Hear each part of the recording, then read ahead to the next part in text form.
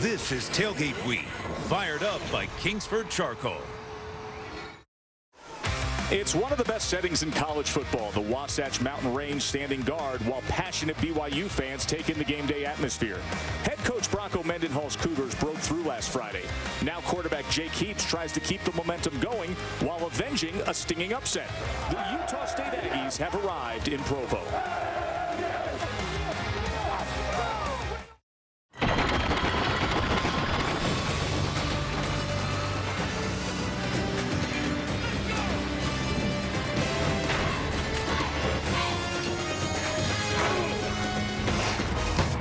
ESPN's College Football Primetime is presented by Russell Athletic, part of Tailgate Week, fired up by Kingsford Charcoal. An in-state battle from LaVell Edwards Stadium. Only 127 miles separates Utah State and BYU. Last year it was the Aggies who upset the Cougars. Now BYU is out to set things straight. Good evening, everybody. Joe Tessitore, as always, joined by my partner, Rod Gilmore. And Rod, a week ago, we stood here. We talked about BYU quarterback Jake Heaps. It ends up being the special teams and defense that got them a much-needed win and some momentum. Yeah. Tonight, they need another well-rounded game. Yeah, I'm surprised. We're talking about defense with BYU. After all the years of all the explosive offense, it's about their defense. And they are struggling on offense. And Bronco Mendenhall has really turned to his defense to get it done. And he says it's the best front seven he's had in a, in a long, long long time. They did a great job last week holding Central Florida to 17 points and then coming up with a big play late in the game to stop a would-be game-winning drive. As for Utah State, if three plays this year had gone their way, they could be a 3-0 team. You remember what happened opening week? They gave Auburn all they could handle. Yeah. Auburn needed that magical comeback, the onside kick. It's been their running game that have given people trouble. And think about this. They went to Auburn, they put up 38 points and more than 200 yards rushing, and they did it with a freshman quarterback. But the key key to the offense is this great running back, Robert Turbin. Yeah, I said great. He had four touchdowns last week. Powerful guy, but great speed to the outside as well. He's the real focus of what they do offensively. Beautiful late afternoon here in Provo. They play for the old wagon wheel. They will you trying to bring it back to Provo. Kickoff when we return.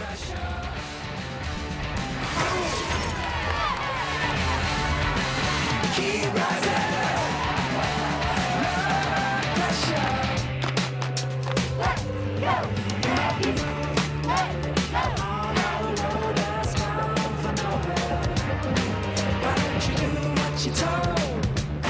ESPN's College Football Primetime. Brought to you by J.C. Penney. Everybody wins.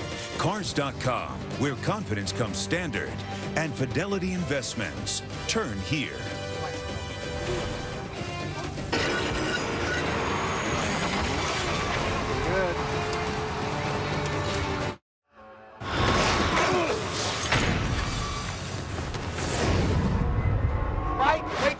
And away we go. Okay? Believe in yourselves. You know I love you. You know I'm going to be here for you every single snap. Players win games, man. Players win games. Great atmosphere. Only show in town now. National television. Let's get this thing done. Let's go. Let's go. That was Utah State's head coach Gary Anderson moments ago. And he's moments away from seeing his team receive to start this game. His third season in Logan had a lot of success as the longtime defensive coordinator at Utah. Very strong recruiter. And he has the Aggies headed in the right direction. The best part of pregame is that pregame chat you get from the head coach. That's good stuff. 81st meeting between these schools. BYU's dominated, won 10 straight up until last year when Utah State thumped BYU 31 to 16.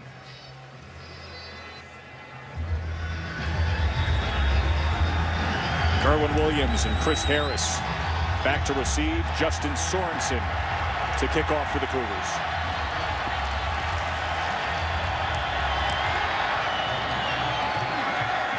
And it's a line drive that goes all the way out of the end zone on the fly.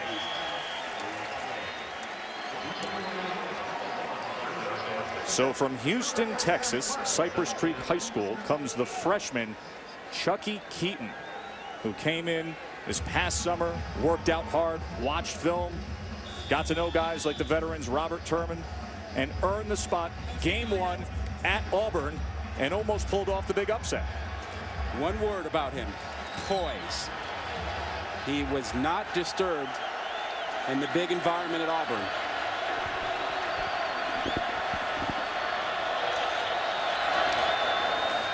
Turbin, you'll see a lot of this tonight. And Turbin is off to the races. First play, could it be?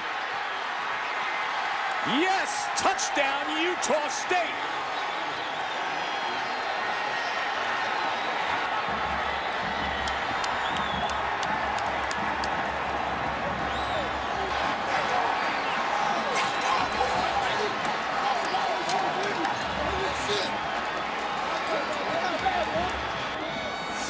career rushing touchdown for the junior Robert Turbin.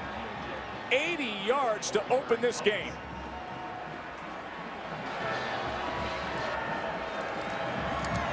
And Josh Thompson makes it 7-zip.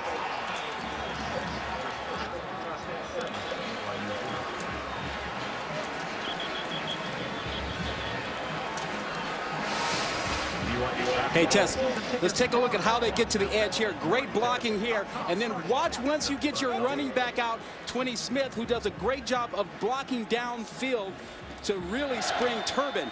You get the edge taken care of. Now look at Smith. He's 20 right there. He opens up on the safety out there on Preston Hadley.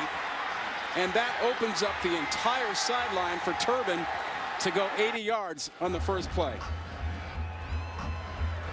Chuckie Keeton eyes wide open. Can't be that easy. Four touchdown runs a week ago, but was stopped on a two-point conversion attempt that ended the game in overtime against Colorado State. Next time he touches the ball, gone for 80 right here. He got a lot of great help on the edge there. A couple of real key blocks to spring him.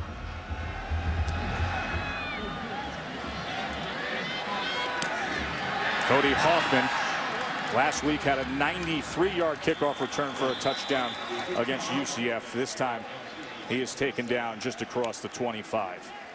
So out comes Jake Heaps last week against Central Florida in that win. 34 attempts for only 133 yards. They relied on the running game, Rod. Well, Brandon Doman, their offensive coordinator, had made it clear this week. Heaps is playing too tight. He needs him to loosen up and relax. He's going to try and do that for him. Give him things he likes, but take the pressure off of him. Play action to open the game. And he's going to go downfield. And it was well overthrown. A flag comes down at the 40 where they were covering Ross Apo. That was Jumanne Robertson on the coverage. Good to see Apo back in there. He had a mild concussion a week ago. Yeah, and that's a good call. I mean, open up, let your quarterback throw something he likes. A deep route, nice and easy. Holding, defense, number 13, 10-yard penalty, automatic, first down. Uh, Robertson, Robertson 13 will use his left hand. It'll get down low. See, he's got him there just a little bit, little tag. Now that's unusual to have that called. Ball was overthrown. That's an unusual call. Couldn't have been pass interference because the ball wasn't catchable. There's Kariya.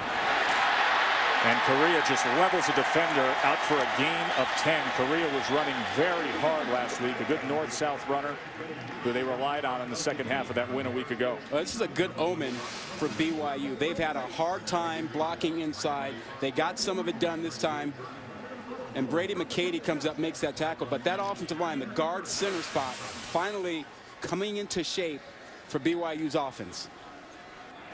So first down to the 46.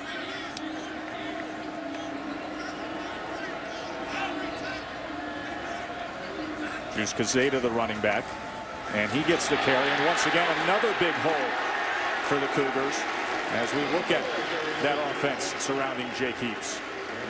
Well, if they're backs and receivers, you'll see an awful lot of DJ DiLuigi, who's a very quick guy, can catch the ball out of the backfield. Often hold outside. Hoffman, McKay Jacobson. We'll also see Apo, who was out with a concussion last week. He's back.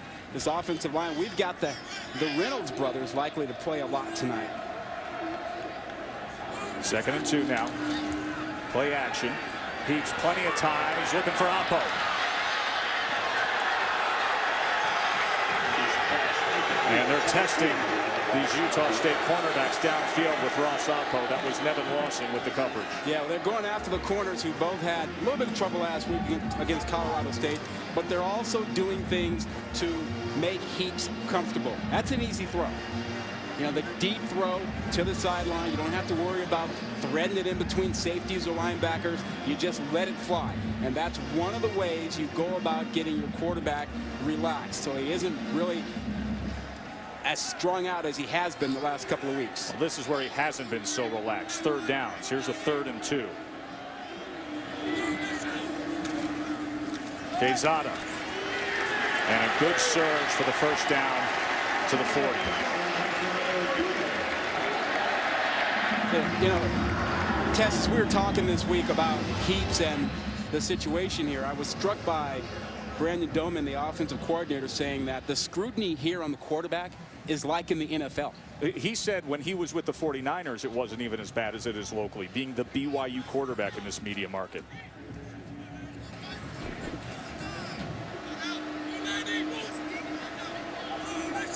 Loaded backfield here. Kariya, Another hard run. This just a gain of three that time.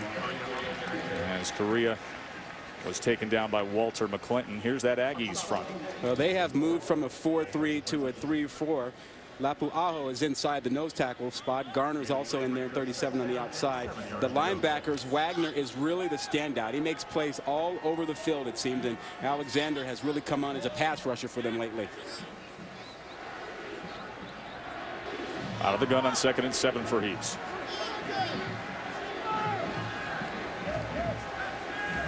High snap. Over the middle, complete a first down. DiLuigi out of the backfield.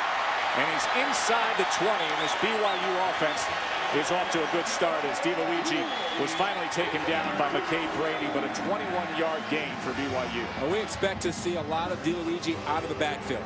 Utah State plays a lot of man coverage. So when DiLuigi comes out, he's a good, quick receiver working against a linebacker or safety. Advantage BYU.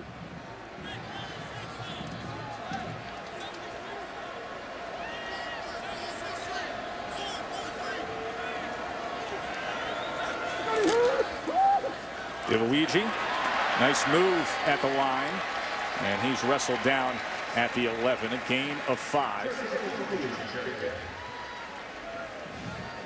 A defensive backfield for Utah State. They've already been tested. Yeah, and they will be tested. Like I mentioned earlier, they struggled a little bit on the corners last week. Lawson is the better of the two corners. Robertson got a lot of time. He will also be spelled by Sanders, who will show up.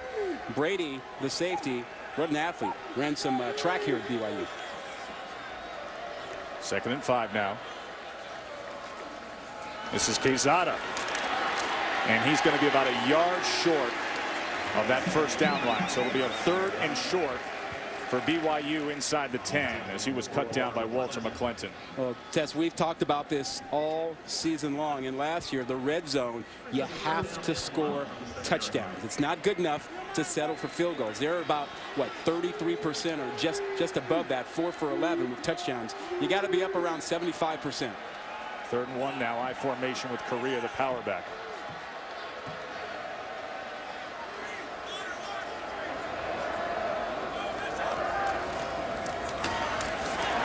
And he's going to be just about a half a yard short as Kyle Gallagher came up and wrapped up Kariya. Well, Gallagher did a great job of reading the play, slipping a would-be blocker, and getting into the backfield. That's a tackle for loss. Watch him. Middle of your screen, 43. Good swim move, and he gets in there. Here they go for it. They're rushing right up to the line. Quarterback sneak. And it looked like they were able to bulldoze ahead. They didn't waste any time in making that decision.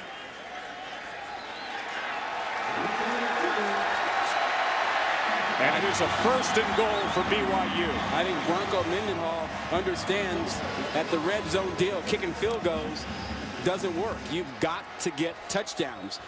You know, that 80% number you'd like to have is not very common in college. In college, the good teams are usually somewhere around 75%.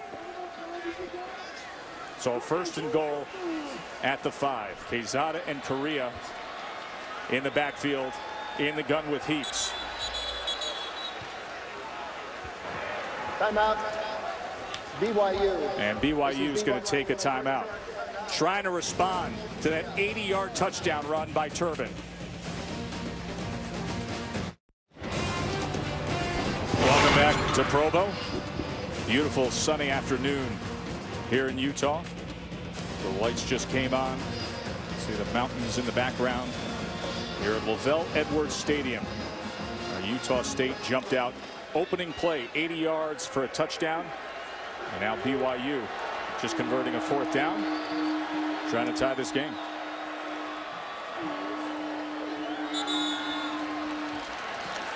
And there was some motion. Full start. Offense. 18. Five-yard penalty. First down. It's a sophomore tight end Richard Wilson.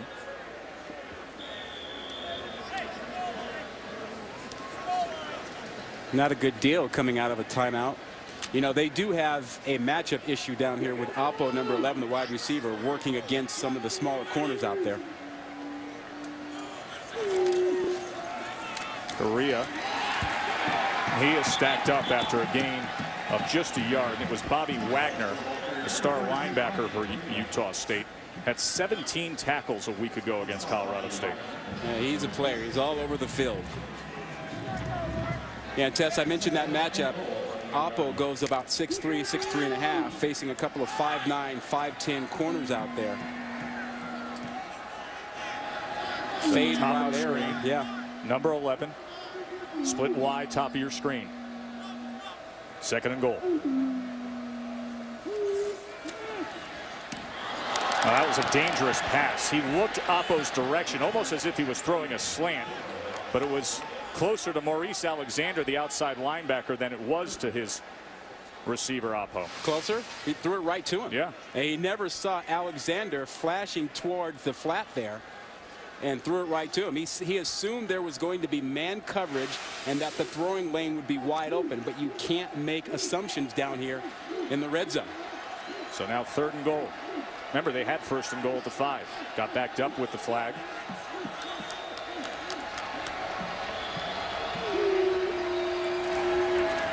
Heaps to the end zone, incomplete. He was trying for Apo again. Flag came in.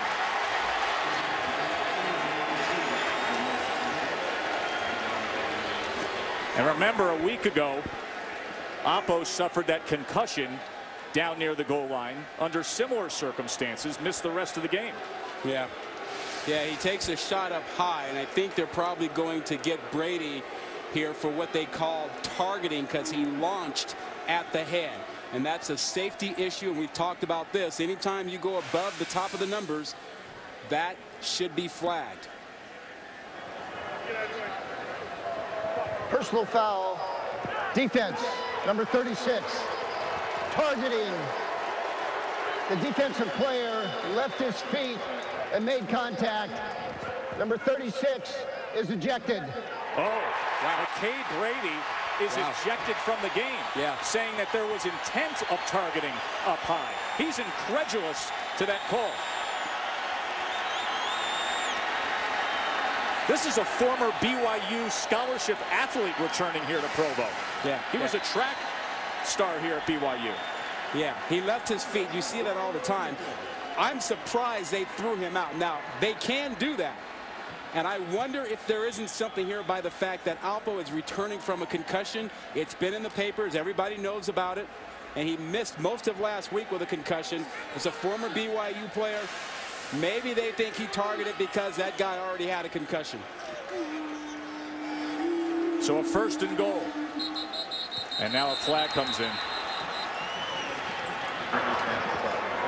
Before the ball is snapped, ball start.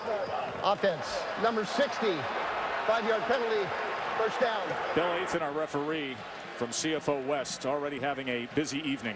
I tell you one thing, I don't want to see Apo come back in the ballgame. I mean, after leaving the game last week with a mild concussion and seeing the way he left the field today, I mean, I just think you ought to be safer and keep him out of the ball game and get him healthy. We bring guys back too fast, in my opinion, who return from concussions. So now first and goal from just inside the nine. And he overthrew J.D. Falslev. Let's go back a week ago and show you what happened against UCF with Apo. Yeah, he took a hit sort of down here around the same area. An inside route takes a hit and suffered a mild concussion. Did not return to the game. Didn't practice the first couple of days, but returned to practice. I think it was Wednesday of this week, Wednesday or Thursday. Second and goal now. Heaps, quarterback run for Heaps. And Heaps gets it to the six. He was met by Chris Harris, who came in the game for the ejected McKade Brady. You know, they've had issues down here, false starts, but they've also had problems with their snap tests. I mean, they've had issues with the snap all season long in that shotgun, and that one was a wobbling duck. And the timing was thrown off there a bit. Well, that's a great sign to see Ross Apo coming back into this game. Third and goal. This is where they could use him, too. And there's another high snap. And just over the outstretched arms of J.J. DiLuigi. So the kicking team will trot out on for BYU. Boy, did it seem like they spent a long time in the red zone with Well, all the th- flags. They did. a couple of false starts. They got a fresh set of downs with the personal foul. Justin Sorensen comes on after missing from 31 yards to start his season. He has made his last five field goal attempts in a row, this from 23. And Sorensen puts three on the board for BYU. Robert Turbin We'll be back to action when we return. Boy, is he something for Utah State.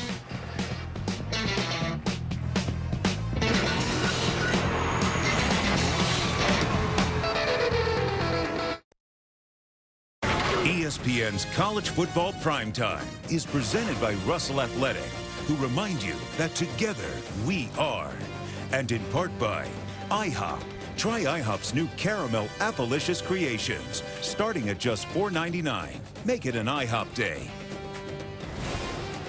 Tailgate week fired up by Kingsford Charcoal. Oh, look at that, Rod.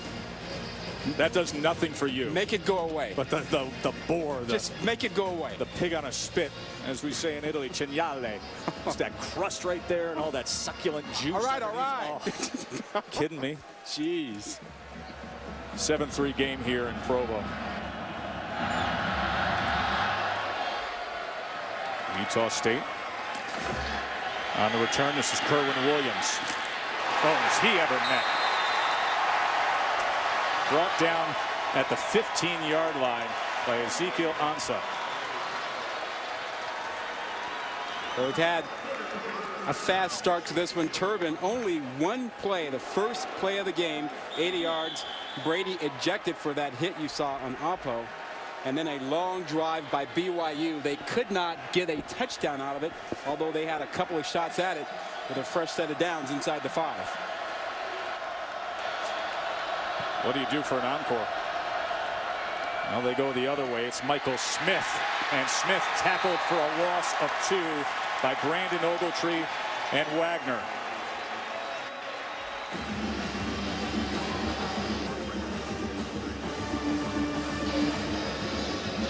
Uh, we saw Utah State get outside on the very first play and get 80 yards out of it. Running inside or near the tackle area with that front is difficult. You know, I don't think Robert Turbin was supposed to be out there. Illegal substitution. The 12th player left the huddle. Five-yard penalty. Second down. So after going 80 yards and a touchdown on their first play, their next two, they're going in the other direction.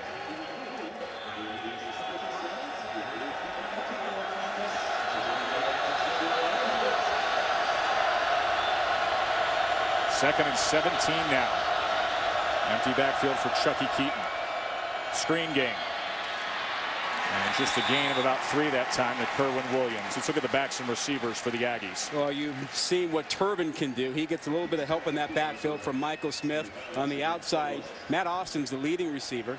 Stanley Morrison's a quick guy. Eric Moats is also a solid receiver out there for them. Third and 11 now. Turbin is back in the game. He's in the slot to the far side. They have to get out to the 24.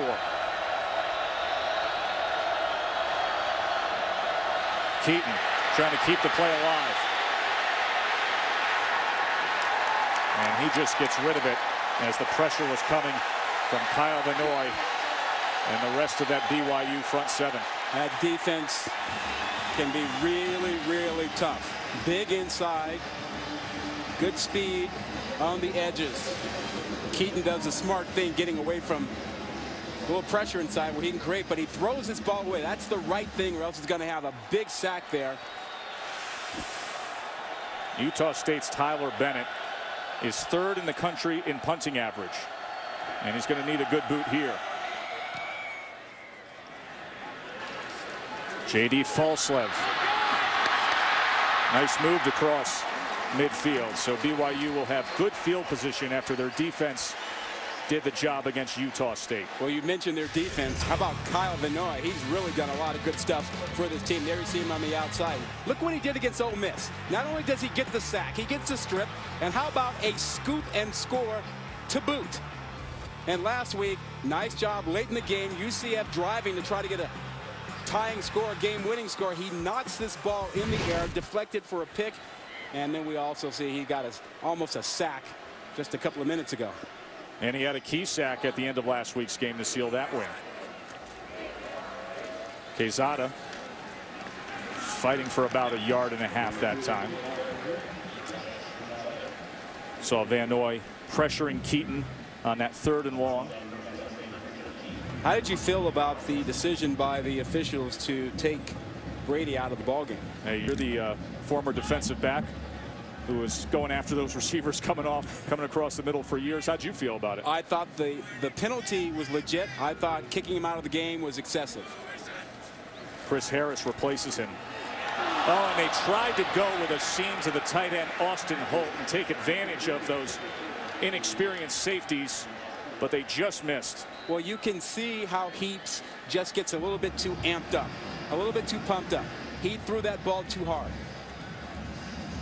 You need a little touch to drop that one in over the linebacker and in front of the safety. You see Heaps just one for six to start this game. And now a third and eight.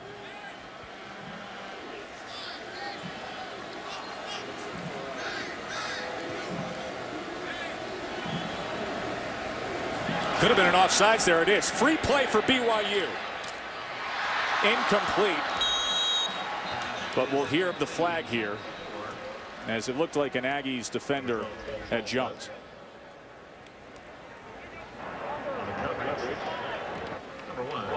Offside defense. Number 45 was in the neutral zone. Five-yard penalty, third down. That was a junior linebacker, Maurice Alexander. He's been coming on strong the past few weeks. Well, it's another third down for Heaps, and he's kind of flirting with danger here. We've seen him be off and late He's got to make his decisions a little bit faster, better timing. And I, I, think they may think in terms of running it a couple downs here because they've gotten off to such a tough start throwing the ball. Third and three after the penalty. And that is caught right at the sticks. The spot should give it to him as Marcus Matthews settled in right at about three and a half yards past the line of scrimmage before he was tackled by Alexander.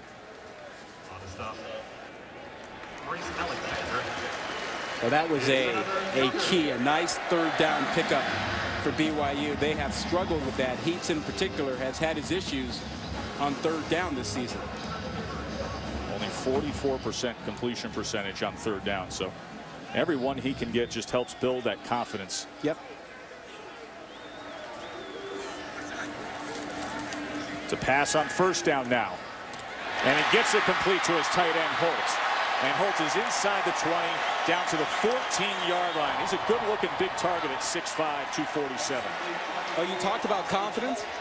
I think Heaps picked up some confidence after that short pickup for the first down. Look at him here. Nice, strong, tall in the pocket, follows through, puts some zip on the ball, right on the money, allows his guy to run with the ball after the catch.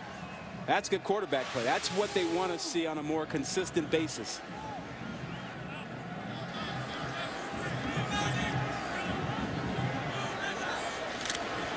Quezada on first down.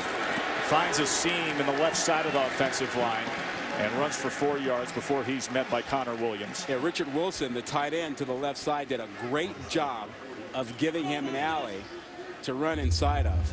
When your tight ends can block on the edge, it really works for you. Watch 18. He gets his butt inside so he can turn his body and push Alexander outside. That creates the lane.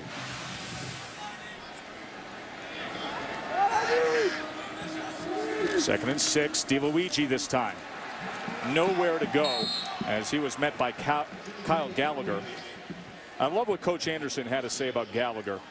Said he plays like he has a spare body in the closet. Just throws himself at every ball carrier. Have to use that spare a lot then. Well, they got a big third down here. Remember last time they were down here? They had a couple of third downs and did not convert. Oh, they had numerous shots in the red zone with all the penalties.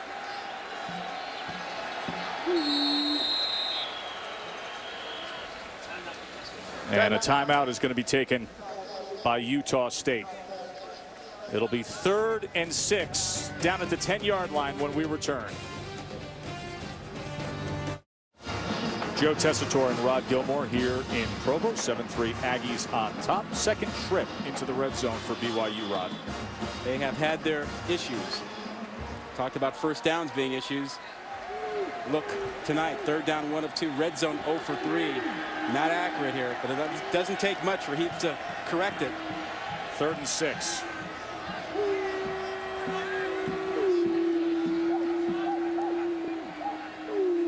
They bring pressure.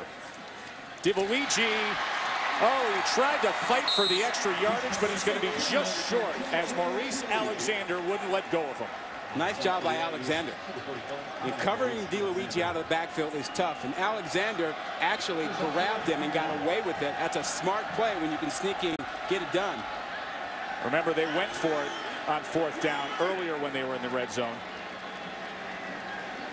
Yeah, well, not now. Well, Riley Nelson is in the game. Well, they he are is their, he is their fourth down package quarterback. Yeah, I'm surprised here. I thought they'd kick the field goal to draw within one. Fourth and one. Riley Nelson running to the edge. He's got it. Fighting for the end zone.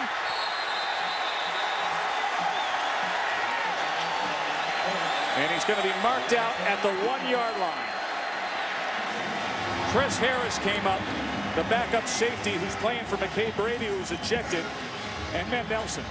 Well, when you run the quarterback down here, you give yourself an extra blocker and even things out. See the lead blocker that time over there, Kariya. And Nelson ran more like a fullback than a quarterback. Nice finish. Heaps back in now. First and goal. Kariya no signal yet, and he's stacked up short. You know, Bronco Mendenhall just got tired of not being able to convert down in the in the red zone here. Havaya Lasiki, the nose guard for Utah State, was able to plug that hole. So Riley Nelson giving them the first and goal. Now a second and goal from inside the one. Quarterback sneak. Still no call.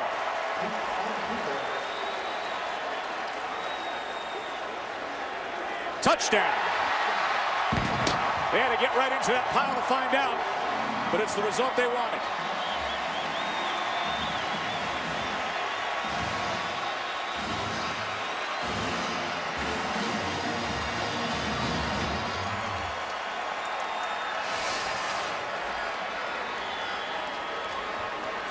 Can you find him? Can you find him? That's the job the referees have to deal with down there. And that was a delay in the call.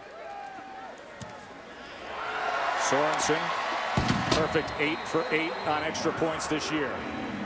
So Riley Nelson, who's from Logan, Utah, the home of Utah State, comes in and gets that fourth down to keep it alive. About 13 miles northeast of where we are here in Provo is Sundance Resort. Beautiful ski resort. Robert Redford acquired this land back in 1969. A year-round resort. You can see what it looks like on a beautiful sunny day today. 10-7 BYU after they converted the fourth down and Jake Heaps muscled it in to take the lead. Uh, Sorensen to kick to Williams and Harris.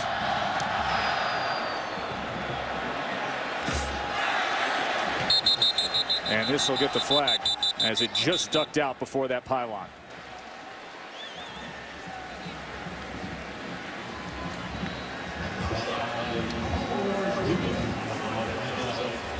Second time that Sorensen has kicked a kickoff out of bounds already this season. That'll start. Free kick out of bounds. The ball will be placed at the 40-yard line. First down, Utah State. Good field position for Utah State to begin their third possession. The first possession took one play, 80 yards.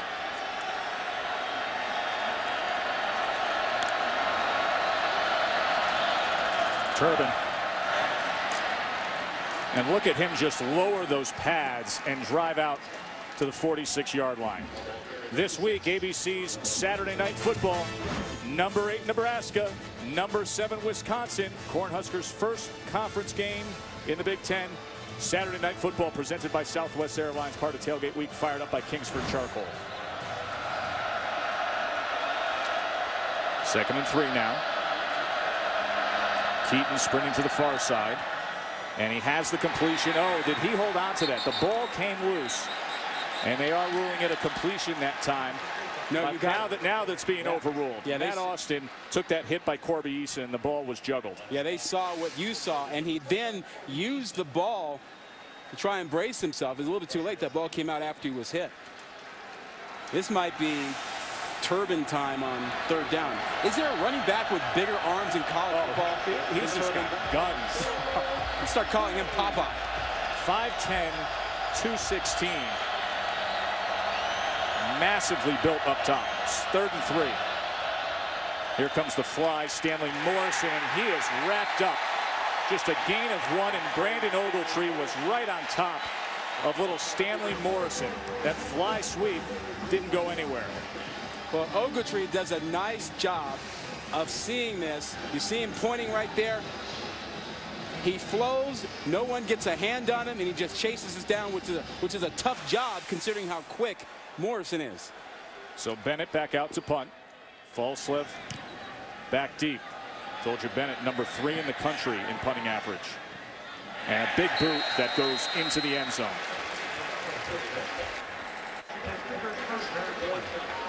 So that BYU defense able to corral Utah State again and send Jake Heaps back out there. Well, we talked about that BYU defense and how they've been the real focal point of this team this season. They've done a great job. They gave up a lot of points to Utah a couple of weeks ago, but that was because of seven turnovers and really bad field position. Otherwise, this defense has played really, really well this year. That was a nightmare day for them. The diamond backfield. Quezada. And he doesn't go anywhere. He was stopped right at the line of scrimmage that time by Walter McClenton.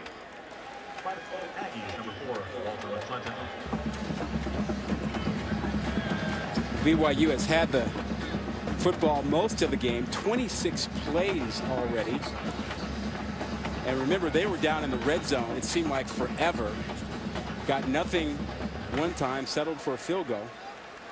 And they're just going to let the clock run down here at the end of the first. It started with a bang for Utah State, the 80-yard touchdown run by Turbin. But BYU, two good drives to take the lead, 10-7 on a beautiful day here in Provo.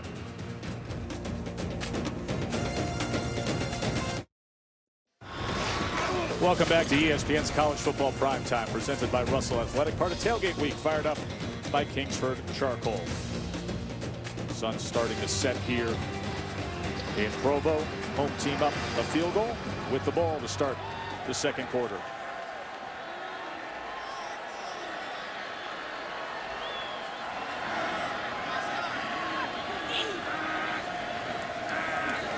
Another high snap. DiLuigi on the carry this time. And DiLuigi is ridden down after a gain of four that time by Bobby Wagner and Nevin Lawson. Bobby Wagner for Utah State.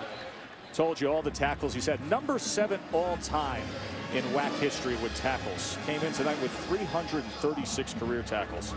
Well, he's going to get a chance on third down here to make another play. He certainly made that play on second down. He is a player who stays on the field on third down. He's an effective blitzer, but they use him in pass coverage as well. Third and six now.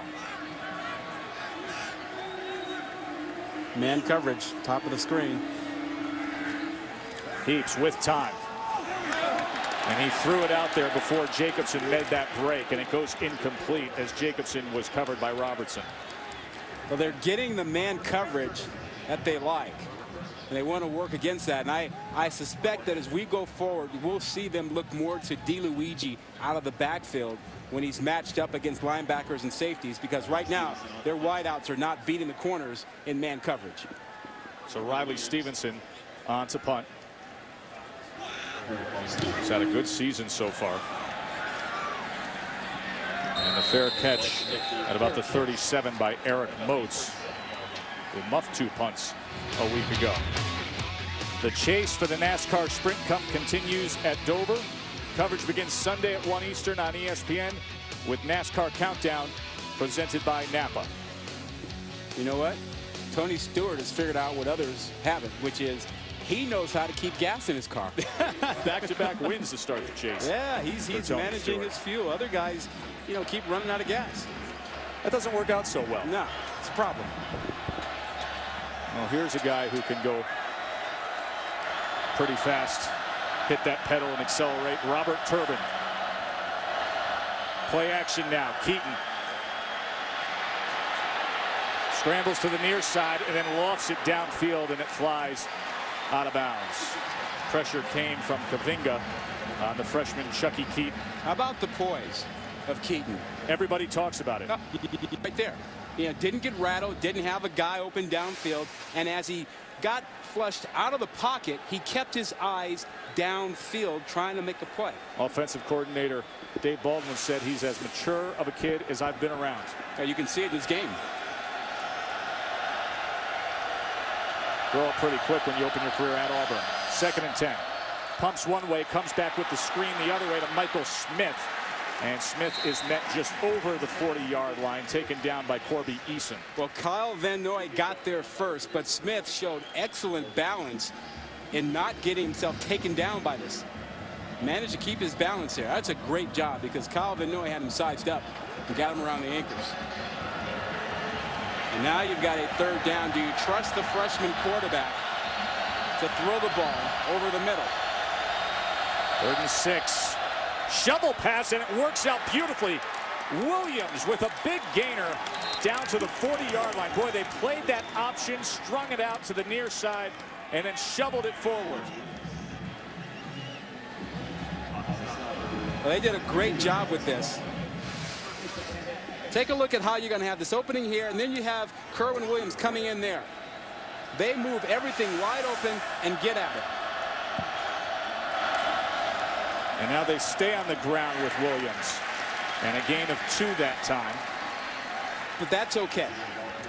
You know, we said it was going to be hard to run inside against those big guys up front, you know, three 300 pounders, but you have to do it every now and then to keep them honest. Those three guys inside just refuse to let you run inside. So the outside is where they'll normally run it. Second and eight.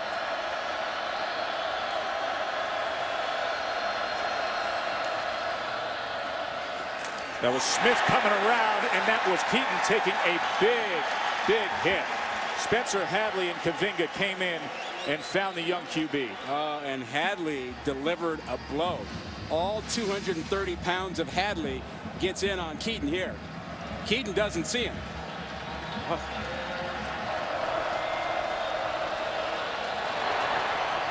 Stuck him good. Third and seven now.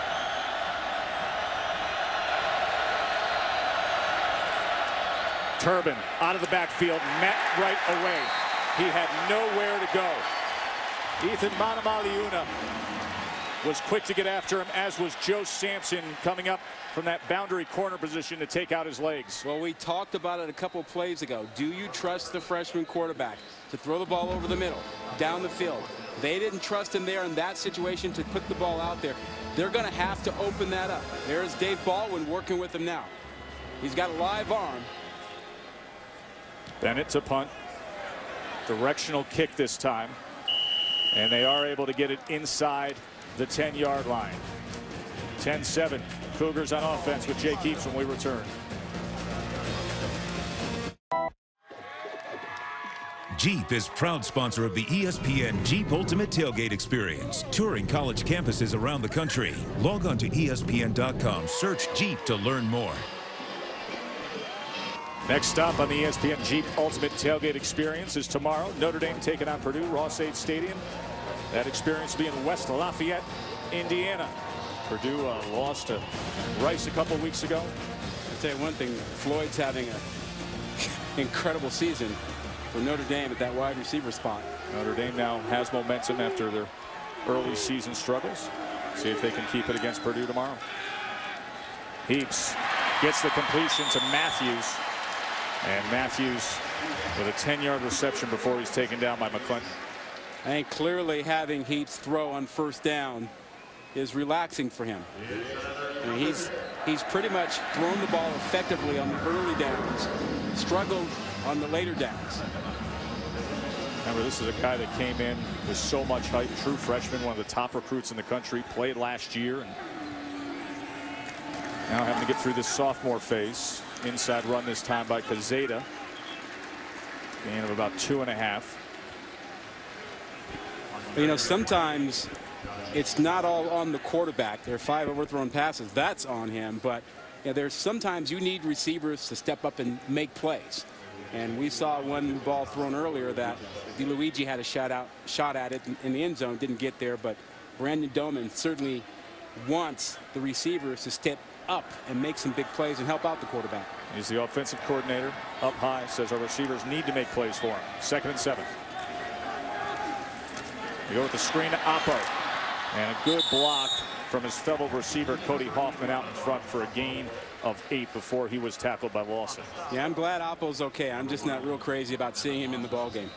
Out last week with a concussion against UCF, took a big hit, and then earlier tonight in the end zone, took a big hit from McKade Brady, who was ejected from the game. The starting strong safety for Utah State was thrown out of the game as Apo was slow to get up. But now back to action. Third and one. DiLuigi needs that yard, and he gets three. Show you what happened to Apo in the course of seven days. Yeah, takes a hit down around the goal line last Friday night. That put him out of the ball game. It was a mild concussion. Did not return. Missed a lot of practice. Tonight, Brady gets him with this, but he's flagged for launching, and then they kicked him out of the game. I thought it was a legitimate call for launching, but I don't think it was worth kicking him out of the game on. We've seen worse hits than that. So first down for BYU. Heaps out of the gun. They bring a little bit of pressure. Pick it up.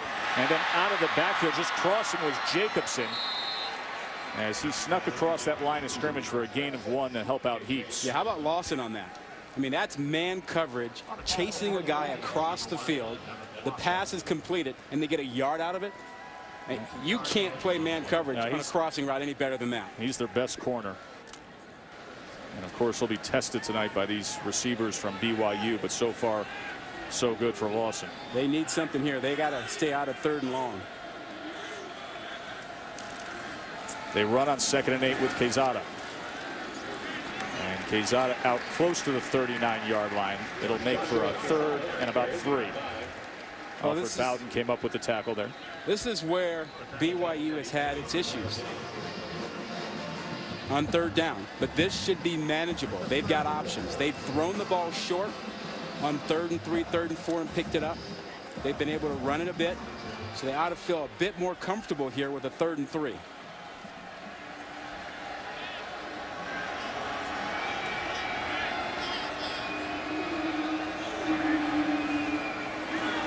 Heaps. Time on third and three, and it's incomplete. It was off the hands of McKay Jacobson, and the coverage came from Nevin Lawson, who you were just lauding moments ago. That's the wrong guy to pick on. You're getting man coverage across the board, and that guy is going to play the best man coverage of all their guys out there. And you'll see him show up in the middle of the screen from right to left. And now Utah State calls a timeout because Riley Nelson came out and lined up behind center. Riley Nelson, the backup quarterback, who converted a fourth down earlier. Fourth and three, and they sent him back out there. We'll take a break. 10-7 BYU. Rod, let's explain to people what BYU does sometimes with punt formations with their backup quarterback, Riley Nelson. Well, they put him in formation where he could actually run a play. He may actually punt it, though. I can't believe they're actually going to go for it here on fourth and three. This is way too risky. Now the punter comes out from that receiver slot to a traditional punt formation. But Nelson is out there every single time. And the punt safe is on for Utah State, so there's no return man.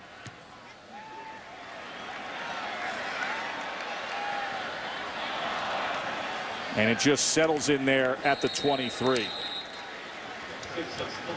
You know, Coach Andersen pleased with the way his troops handled that. Tomorrow morning, wake up early. College game day built by the Home Depot. Nebraska and Wisconsin. So Chris Fowler, Lee Corso, Kirk Herbstreit, Desmond David Pollack, and Erin Andrews will be in Madison. Starting your day at 9 a.m. Eastern on ESPNU and then 10 a.m. to noon on ESPN. What an atmosphere that is going to be for Nebraska's first Big Ten game. Keeton Plenty of time. Gets his big man Lloyd out of the backfield, and Lloyd with a gain of 14. Lloyd goes 6'7", 258. Big target. Nice and easy. Hurry up offense here.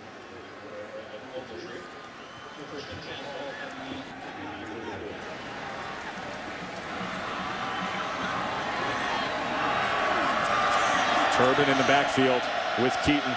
Opened up the game with that 80-yard touchdown run. Misdirection this time with that fly sweep as Turbin gets out to the 43-yard line. He was tackled by Ogletree. Ogletree's having a solid evening for the Cougars defense. Yeah, the defense is having its way, but for that 80-yard run, and Utah State have, has really not had a chance to get into a rhythm offensively.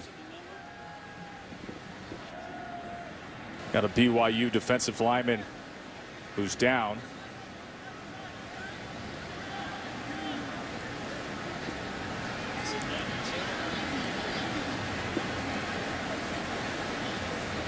So we're going to take a break while they tend to the player down.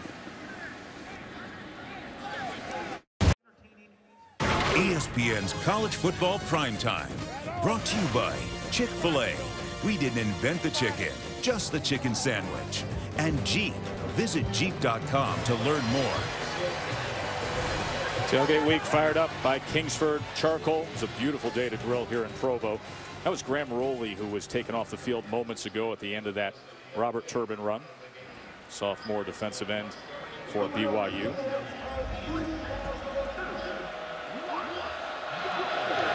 Second and six. And Keeton overthrows it as he was trying to get it out to Eric Moats. I think we've only seen Keeton throw one ball that was vertical beyond 10 yards.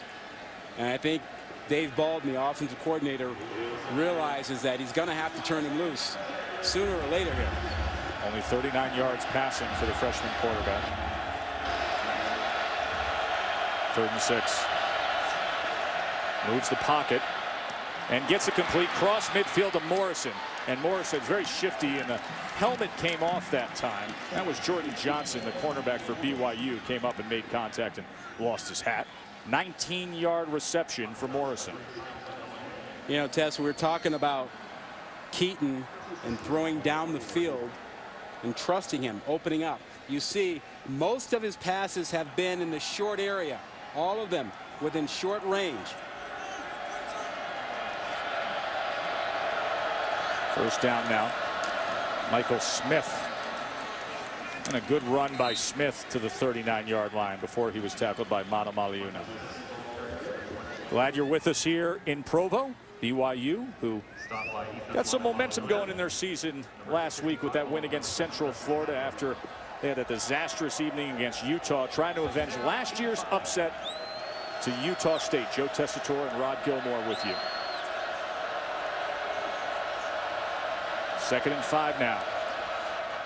Empty backfield as Turbin now joins Keeton.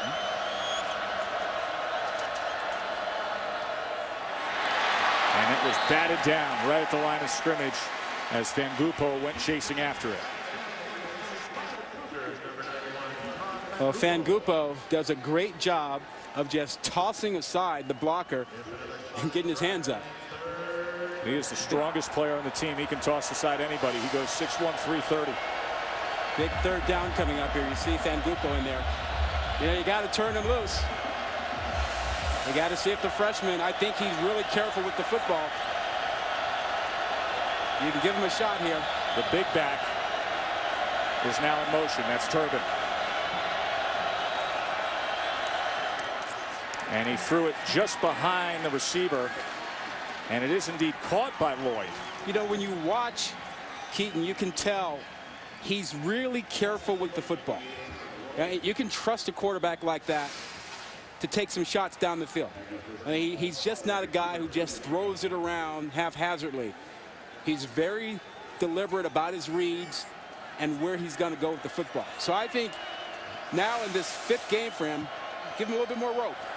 How about that effort by Lloyd? Yeah. Williams now. And Williams scoots ahead down to the 26-yard line. You see, they've got three backs that they can roll in there. Turbin, Smith, and Williams. Williams is probably the quickest of the three, changes direction probably better than any, any of them, but all three of them can take it the distance. Last year against that Boise State defense, Williams had 147 yards. Second and five. Play action. Keeton just threw it a little beyond to the outside of Tialavea. The pressure came from Jamison Frazier.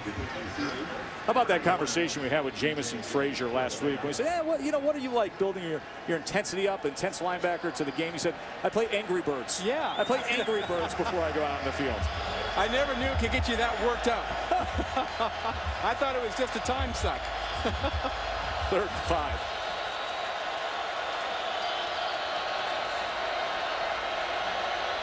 Smith now in the backfield with the freshman Keeton. They only bring three. And yet he has to scramble, and he gets it. Good individual effort by Chuckie Keeton. How about the footwork? The ability to pick his way through that defense, changing direction, just a step here and a step there.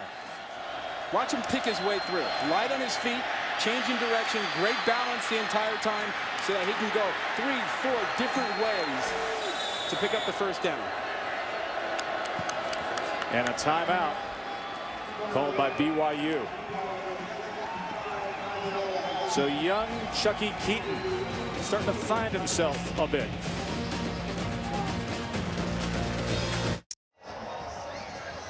ESPN's College Football Primetime.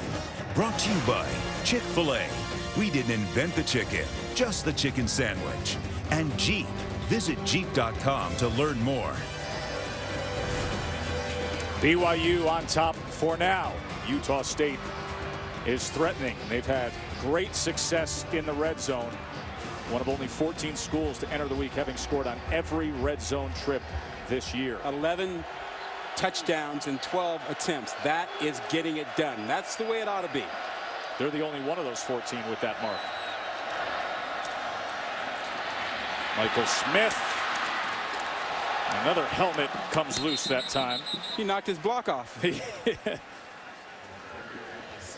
That was Travis Uale, the free safety who came up to meet Smith. How about the how about the nifty move by Smith to get himself free? I mean, he's caught in the backfield. Wagner has him. I mean, Sor Sorensen had him back there. But Smith threw a nice move on him. There's big number six in the backfield with Keeton. Robert Turbin. Going to take a shot here. And he overthrew Matt Austin. Yeah, had plenty of room out there working against Johnson out there. Just threw a little bit too hard. Needed more air to give Austin the chance to work to that back corner. Now, as a corner, you know when they throw that fade, you know they're trying to get to that back corner over there. It's a long drive for Utah State. We have First play of the game, they went for 80 yards. Now trying to earn every inch of it, third and six. They, they do like screens. And BYU is going to take a timeout. Timeout. BYU.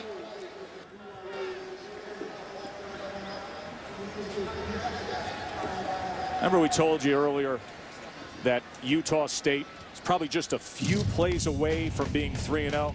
How about down at Auburn to start the year? Auburn had a rally down 38-35, just over two minutes to go. Yeah, if you go up and get this onside kick, though, you don't have to worry about Michael Dyer going in for six to beat you. They had that game in their control. And then Eric Moats muffed two punts against Colorado State. And it went to overtime. They went for two, Rod. Yeah, And Turbin came up short. Yeah, they blew a 10-point lead in the last 338 of the game. And then with that two-point conversion, they had two shots at it. Had a pass interference, went back the second time, ran it, didn't get it in. Most coaches won't go for it, but Andersen said out, we're the home team. I'm being aggressive. I wasn't trying to get to the next overtime. So just a couple plays here or there at Auburn against Colorado State could be 3-0. For now, third and six. Big back Turbin's in the slot. Four receivers to the right of Keeton.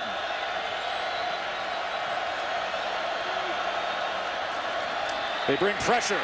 Keeton trying to escape it. And a touchdown for Utah State as he finds Eric Moats. You think that young man's a freshman? Are you kidding me? Wow. Keeping the play alive. Oh, you talk about extending the play. We talked about his poise. The pressure comes from the left. He feels it, he sees it, but he doesn't get rattled. He just keeps his composure, keeps his eyes down the field, and finds Moats for the touchdown. That's big time. Josh Thompson makes it a four-point margin. Take another look at the fleet feet of Chuckie Keeton. Uh, you're talking about a young man who shows you good footwork, but it's the poise. He didn't get rattled. He maintained his composure, had the presence of mind to look for Moats down the field and not simply tuck the ball and run. That is a big-time play. I think they got a lot to look forward to in the coming years up in Logan with this kid, huh? Well, rest of the season, too. My goodness. 13-yard touchdown to Moats. Celebrating its seventh year sponsoring the Good Hands Field Goal Nets, Allstate makes contributions to participating universities' general scholarship funds for each field goal and extra point kicked. And to date, Allstate has contributed more than 2.4 million in scholarship monies.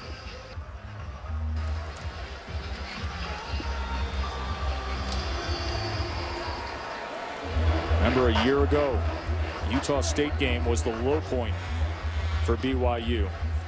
Up in Logan, they lost 31 to 16. That coach Mendenhall fired the defensive coordinator the next day. Took over the job himself.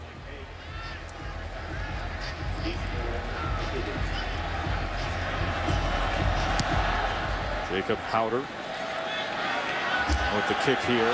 Cody Hoffman bobbled it to start. And then Hoffman grinds it out past the 25. Let's check in with Ryan Burke. All right, Joe, coming up on the Dell halftime report, I'll be joined by Mark May and Lou Holtz. Guys, we'll play a little game of Take Your Pick, including the big one at the Swamp as Alabama heads to take on Florida. We'll head to Madison, Wisconsin. That's where game day is. They'll get a set for Nebraska's first ever Big Ten game against Wisconsin. And we'll check in on the ALDS. The Rays, a big nine-zip winner over Texas in game one. Coming up on the Dell halftime report. Tess, we'll see you in a few. Thanks, Ryan. Look forward to hearing what the guys have to say about Wisconsin and Nebraska. Quezada now. A gain of four. Should be interesting to see Russell Wilson. No, Russell Wilson second nationally in passing efficiency. Yeah, yeah. He's made such a difference with the Badgers. Not a surprise. We thought he'd be a good fit at Wisconsin. He's a high character guy and fits in with that program. Hurry up now for Heaps. And over the middle. He looked that time for Richard Wilson. And that is incomplete. Kyle Gallagher was on top of the tight end. That's going to be some environment in Madison tomorrow. Game day there. I just want to know if Kirk, Lee, and Desmond are going to jump around.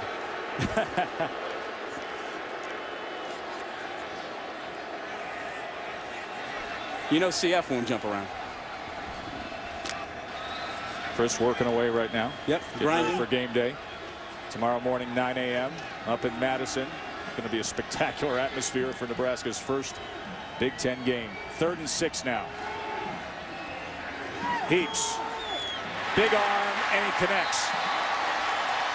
Able to get it to Cody Hoffman. First catch for Hoffman tonight. Gets it out near midfield. And a third down conversion. They pick up 18 here. And again, when you see him do this, you go, my goodness, Heaps is all the quarterback they need.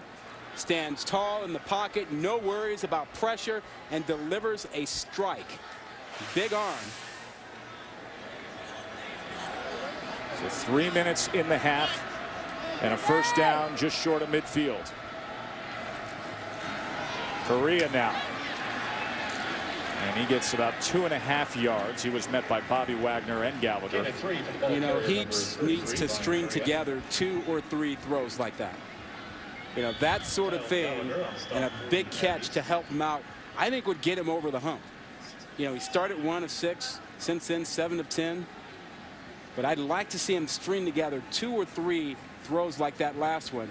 And I think the confidence will really start flowing. That's Matt Reynolds down. He is their best offensive lineman. The senior left tackle only gave up a sack a year ago. A true NFL prospect. Yeah, he's four-year starter at left tackle. You don't want to lose him. Our Todd McShay and Scouts Inc. have him listed as a likely third round pick. Of course, the Reynolds family has uh, been such a big part of this BYU program through the years. Dad Lance, there's Lance Reynolds over there. His older brother Dallas in the NFL with the Eagles. And his younger brother Houston, a sophomore offensive lineman with BYU. Well, there's the family tree. Father Lance, just saw him, assistant coach. Lance Jr. played BYU. There's Dallas and Matt and Houston are on the team together now.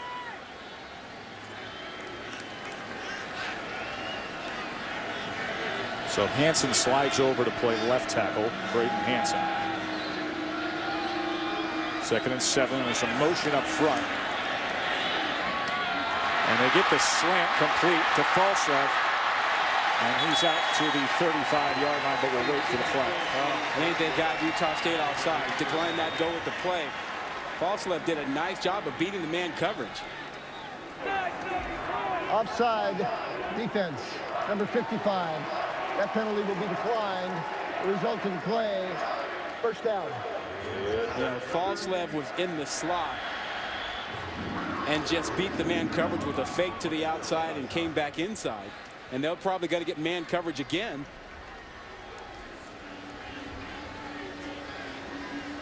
First down for Heaps and company. Three-step drop. He's going to air it downfield.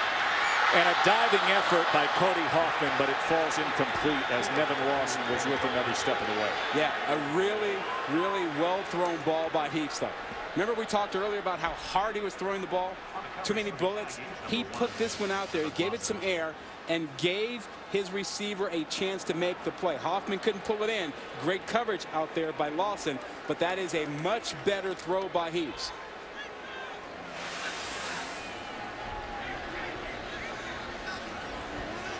Second and 10, DiLuigi, the lone back. Single coverage again. DiLuigi. Nobody touched him for a good 10 yards all the way down to the 20-yard line.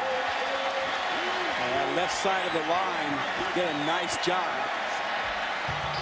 As they spread them out with single coverage, the block at the point of attack opens things up. You see they got on the linebackers out there just pushing Gallagher 43 aside. That opened a big hole.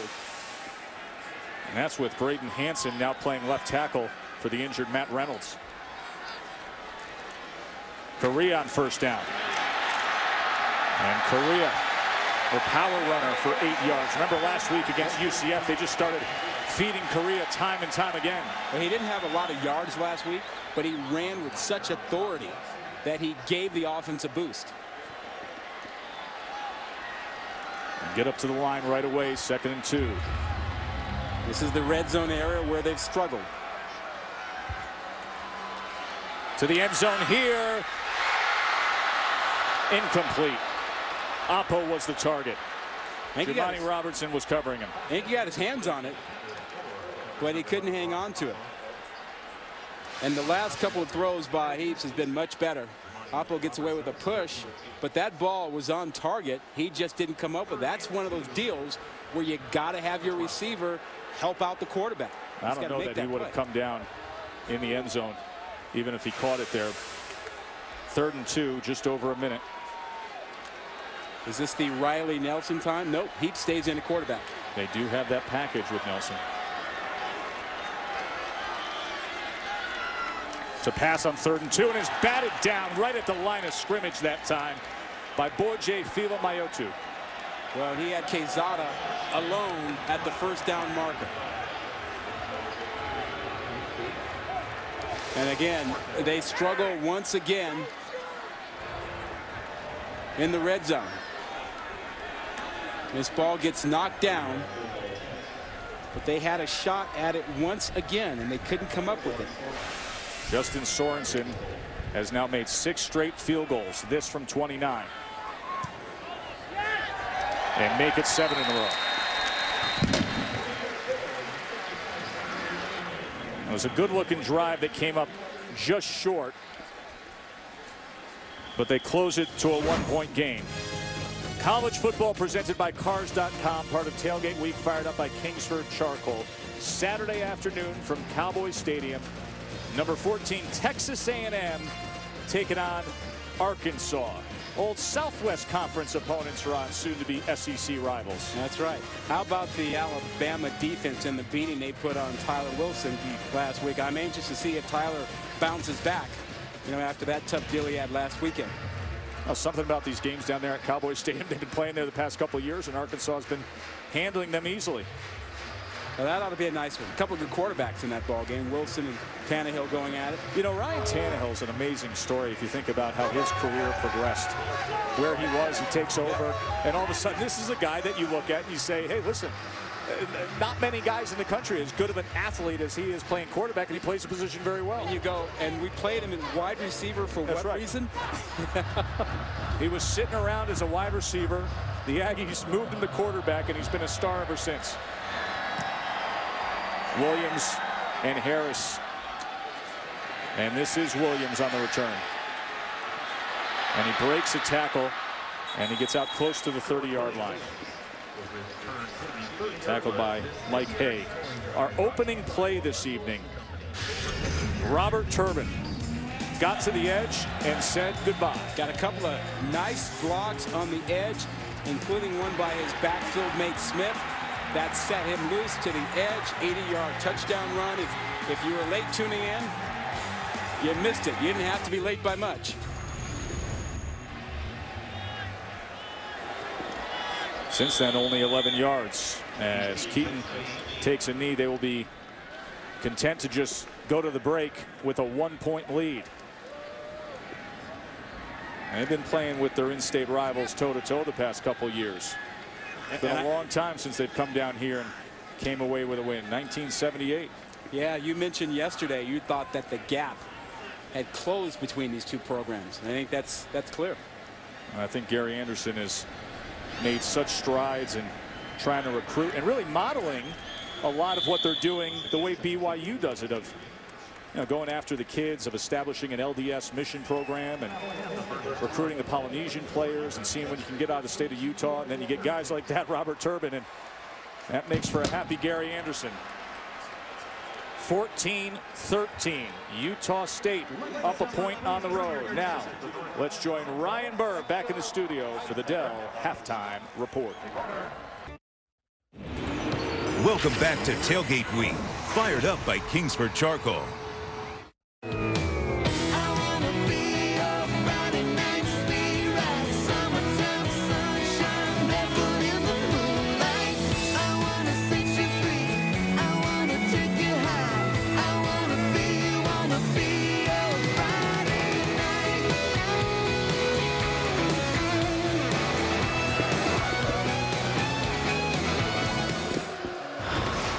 we welcome you back to your Friday night ESPN College Football Prime Time presented by Russell Athletic, part of Tailgate Week, fired up by Kingsford Charcoal.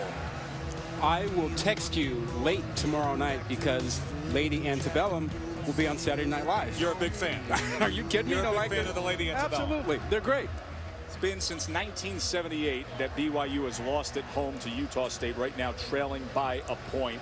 Oh, master of red zone philosophy, what say you? I say if I'm BYU, I'm not happy about my red zone performance in the first half. Three trips into the red zone, one touchdown. That works out to be uh, 33% according to my math.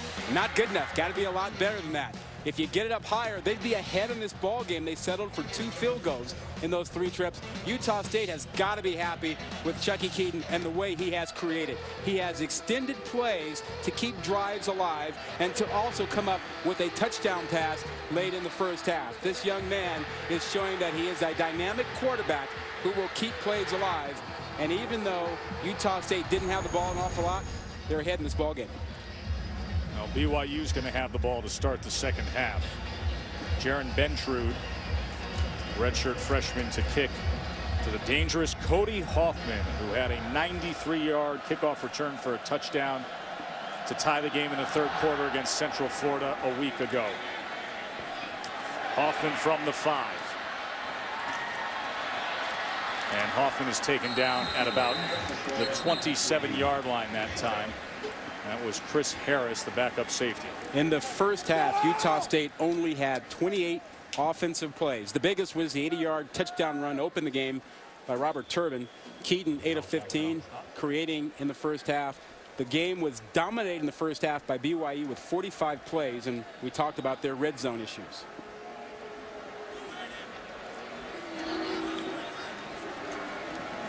Play action to start the second half. And he gets it complete for just about a yard and a half to Austin Holt.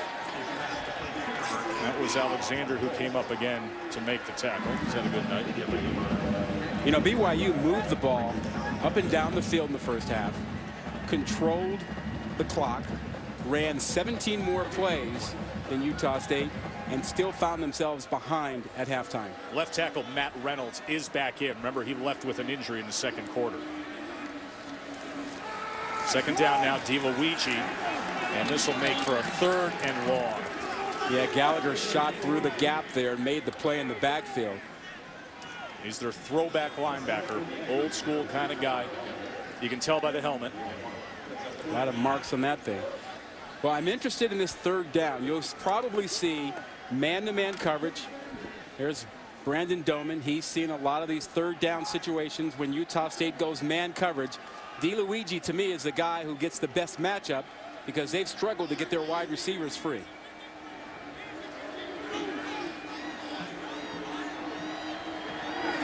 Need to get past the 37, and that's incomplete.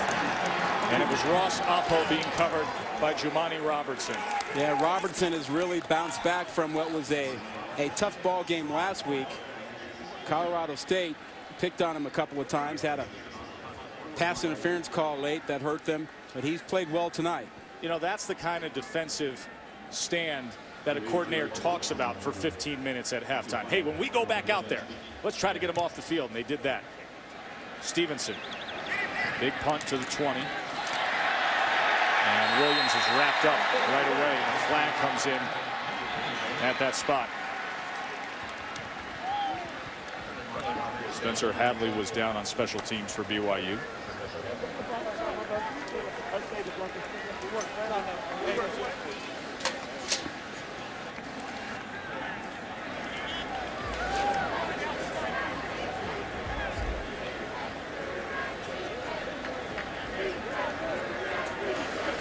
See where Utah State is going to set up shop here. Holding receiving team number 21 at the distance first down Terrence Alston special teamer for head coach Gary Andersen so that'll back him up to the just inside the 11 yard line This is much more dancing than holding.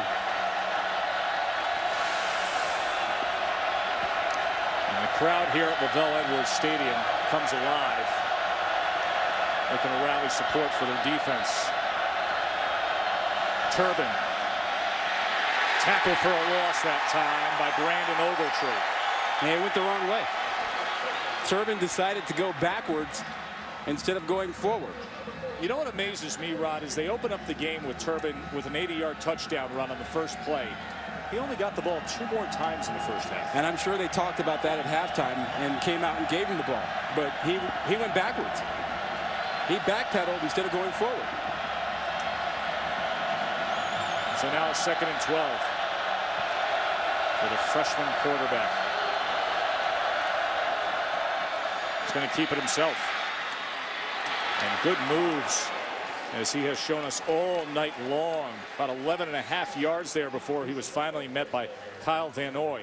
He has very good, subtle change of pace, change of direction moves. Not fast, hard cuts, but just a subtle change of direction, a, a hesitation that makes a guy miss, and he picks his way through.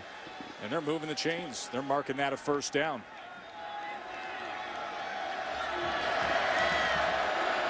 Turbin. He cuts back. And look at what he's capable of doing as he spins for an 11-yard gain. That's a 215-pound back, changing direction. With arms the size of our thighs. Oh, he's Popeye. I mean, those are Popeye arms. I mean, watch him here. He gets going north and south, gets those shoulder pads pointed toward the goal line, but he can change direction with subtle moves as well. NFL prospect. Empty on first down. The screen pass goes incomplete. It bounced out of the hands of Chuck Jacobs.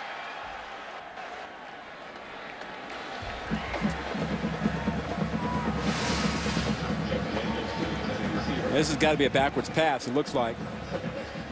Yeah, looks like it actually was a forward pass. I thought on first looked that it was a backwards pass, but that's just an incomplete forward pass. You mark it from where the ball is. Second and 10. Smith on the pitch. And he shakes free out to the 36 yard line. He was tackled by Hebron Fangupo, the transfer from USC.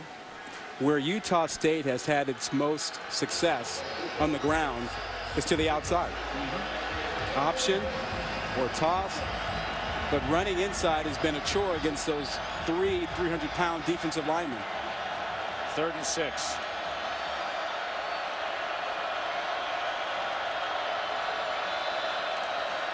Smith straight up the middle and a first down run. So it'll be a first down Well, for they- Utah State. They handled the big fellas that time. Napulu at the right guard spot, Larson at center. They handled the big fellas inside. Yeah, Philip Napaloo is their most physical player. He did a fine job that time. Keeton now reading that play, does hand off to Williams, and Williams crosses midfield for another gain of over nine yards. Brandon Ogletree and Austin Jorgensen on the tackle of Williams. You know, they've used every one of those running backs on this drive already to start the third quarter. They're moving the sticks again. Turbin, Smith, and Williams. Wasting no time with Williams this time. And he has a gain of about four yards. But when you rotate backs that often, that frequently, you wonder about whether you keep guys from getting a hot hand.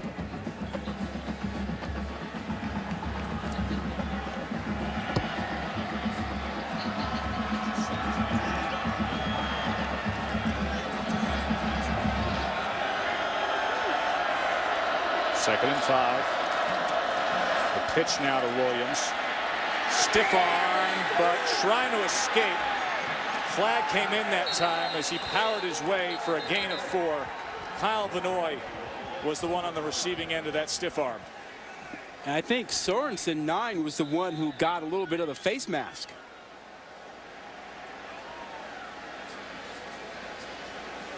It was actually Sorensen who got the stiff arm and responded with the face mask. He's their leading tackler. Personal foul, face mask. Number nine defense, 15 yards from the end of the run, and an automatic first down. So what a drive this is turning into against Bronco Mendenhall's defense. Yeah, this is clearly a face mask. Good call here. Actually, you probably could have gotten both of them because it looked like Williams got the face mask first on Sorensen. Oh, boy. Van Noy almost came up with a big one, but still a heck of a defensive play oh. to get in between that. And Gary Andersen is losing it on the sideline. Uh, he thinks that Van Noy was offsides I just think he timed it. I think he did too. I think he read it every step of the way. I agree. And jumped in front of that ball. I think so. I think that's absolutely right. But so, but Andersen on the sideline was just going nuts. He wanted a flag, lost his headset and everything. So second and 10.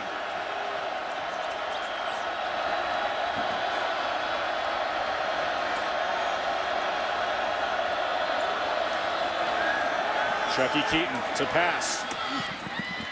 And that's to Matt Austin, who tips toes the sideline there, just inside the 20. You want to tiptoe the sideline? Nice job there by Austin.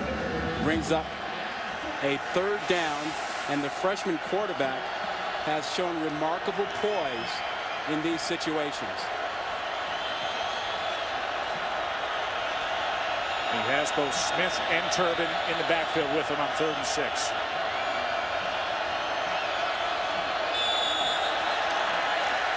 And there's the flag. False start. Offense. Number 66. Five-yard penalty. Third down. So that'll back him up to a third and long now. It'll be third and 11. That was the right tackle, Eric Schultz.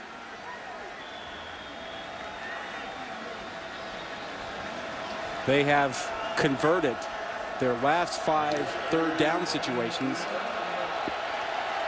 Tougher task now at third and 11. We'll see what Chuckie Keeton comes up with.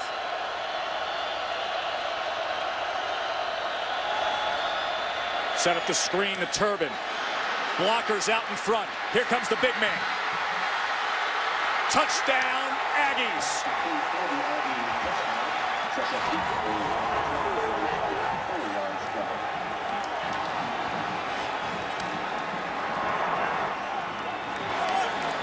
That's a 24-yard pickup for the score. A third and 11. And they set up the screen to big Robert Turbin. Got a nice block down at the goal line, by the way, by receiver Chuck Jacobs.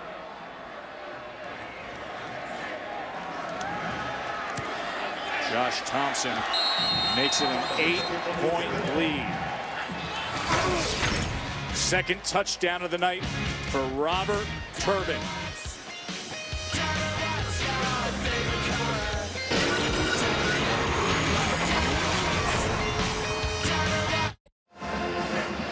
I want you to see the great blocking on this screen pass that led to the score. Take a look at the convoy they get out here. Four linemen get out here. They wall off the defense inside. Perfect leverage. And then once Turbin gets turned up and makes a couple of guys miss, he gets a great block at the end of this by Chuck Jacobs right there. That's the final block that puts Turbin into the end zone. A perfectly executed screen pass. 21 to 13.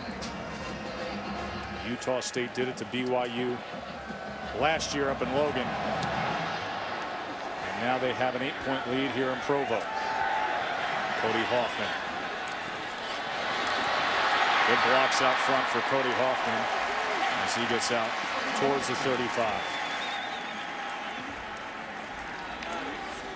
Let's take a look at some great teamwork brought to you by Russell Athletic. Well, we talked about Keeton at halftime and what he does. He takes care of the football, creative, makes plays, and Turbin hasn't touched the ball an awful lot. Two touchdowns, 80-yard run, and then a 24-yard reception on that screen pass for his second score. When he does, he makes it count. Kariya now. And Kariya out past the 40-yard line. Maurice Alexander with another tackle for Utah State. By Vaifua was also in on that play. No reason for BYU to panic. They have moved the football tonight. They just have to be more efficient when they get into the red zone.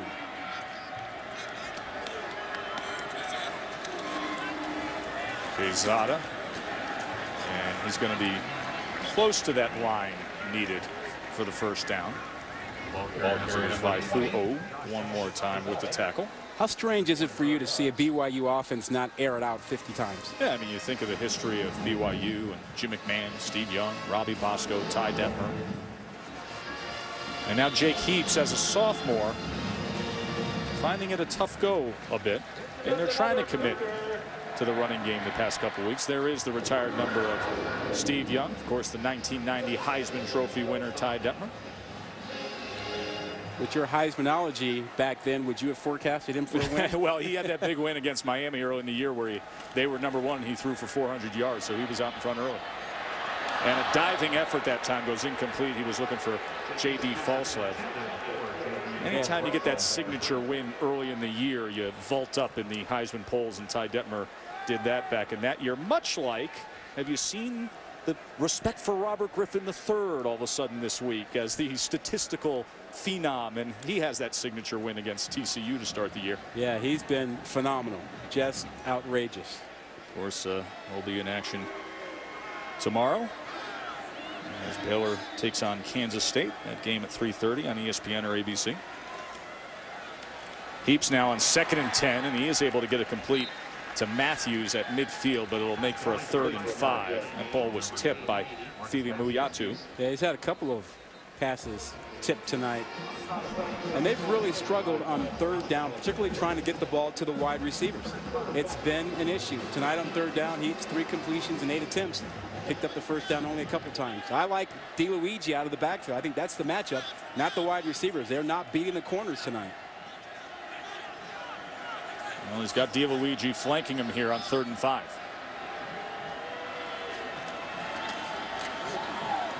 And that is off the hands of Matthews. DiLuigi stayed in for pass protection, so he looked to Marcus Matthews. Great disguise by the Utah State defense. They showed man coverage across the board, and then when Heaps got the snap, they fell back into a zone coverage. And Heaps was still thinking man coverage. Now they change out of that Riley Nelson formation that we've seen numerous times as Riley Stephenson, exceptional punter for BYU, on to boot it away. And this hits in the end zone. So the BYU offense unable to get things done there. They trail by eight. A look at the student center here in Provo. Nice setting.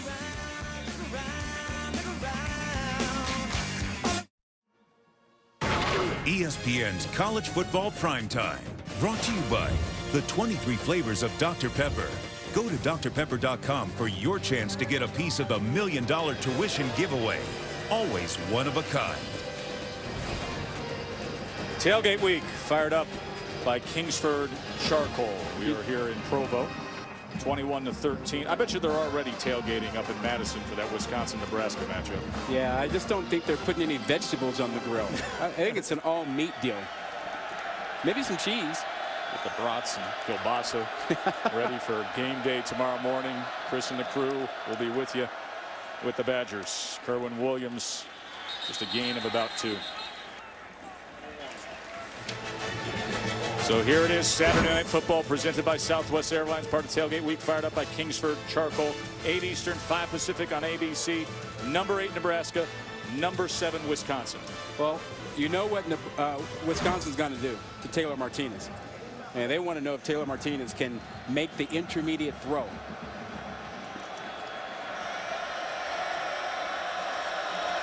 Second and seven now for the Aggies. Up eight. He's going to take a shot as Keeton.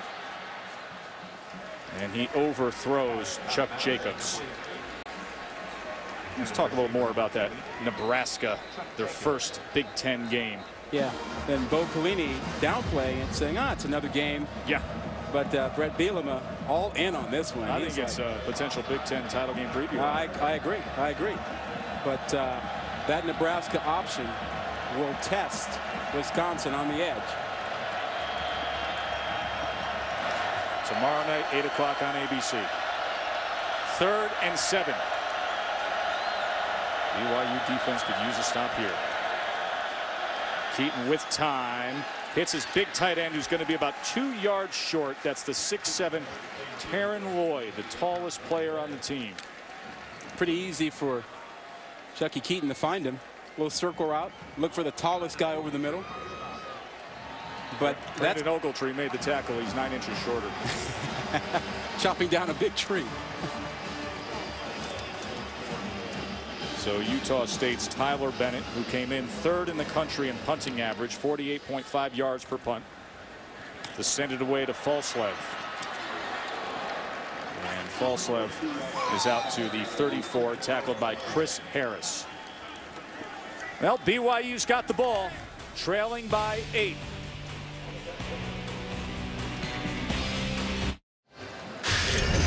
Has not been a stellar night for BYU's Jake Heaps, Well, he's had his problems, but he hasn't gotten a lot of help either from receivers. Apo dropped that one. Sometimes they don't cut the guys at the line of scrimmage and they knock balls down, but he has had his problems being off target. But you have to help your quarterback and make catches, make plays when you have the chance, Mount. Heaps 11 and 25 on the night. And now they make the quarterback change. Riley Nelson is now playing quarterback for BYU.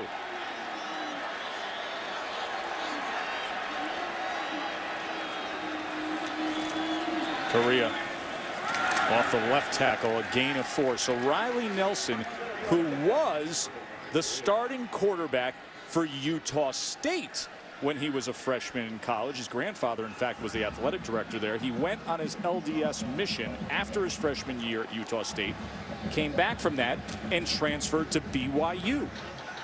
Is that like not allowed? I mean, that's going to your rival. And now he finds himself as the quarterback, down eight against his old team. Second and five.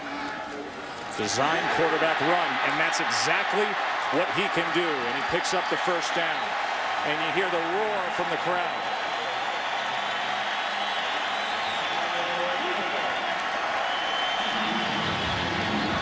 As Jake Heaps looks on. Well, clearly he is a more mobile quarterback than Heaps, but the test is going to be on those third downs when they have to throw the ball in the intermediate to deep area. That's where the quarterback play from the pocket has to be at a higher level than they've had. So first down for Riley Nelson and BYU. Play action. Takes a shot and gets it complete. What a catch by Cody Hoffman.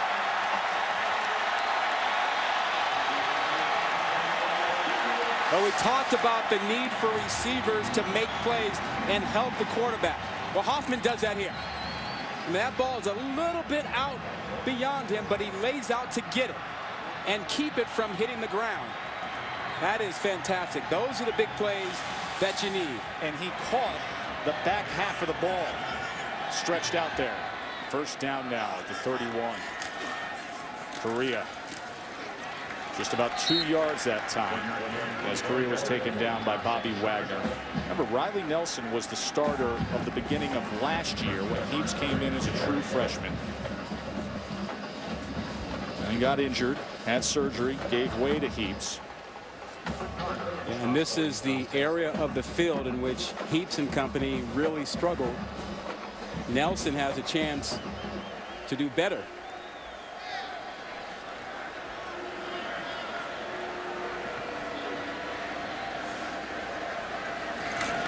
Nelson to pass on second and eight sets up the screen but he threw it to the outside arm of DiLuigi.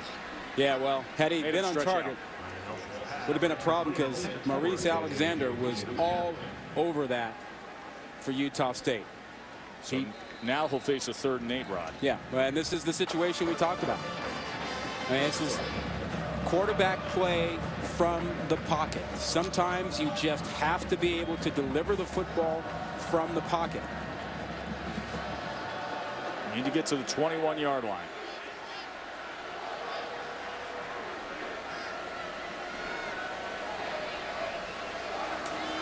That was a floating snap there. And he tried to get Apo on that post. The coverage came from Robertson.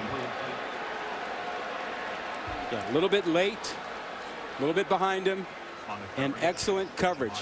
I'm impressed with how well the corners, Robertson and Lawson, have handled the BYU receivers tonight. So Justin Sorensen back out this attempt from 47. He has a long of 46. He has hit seven in a row.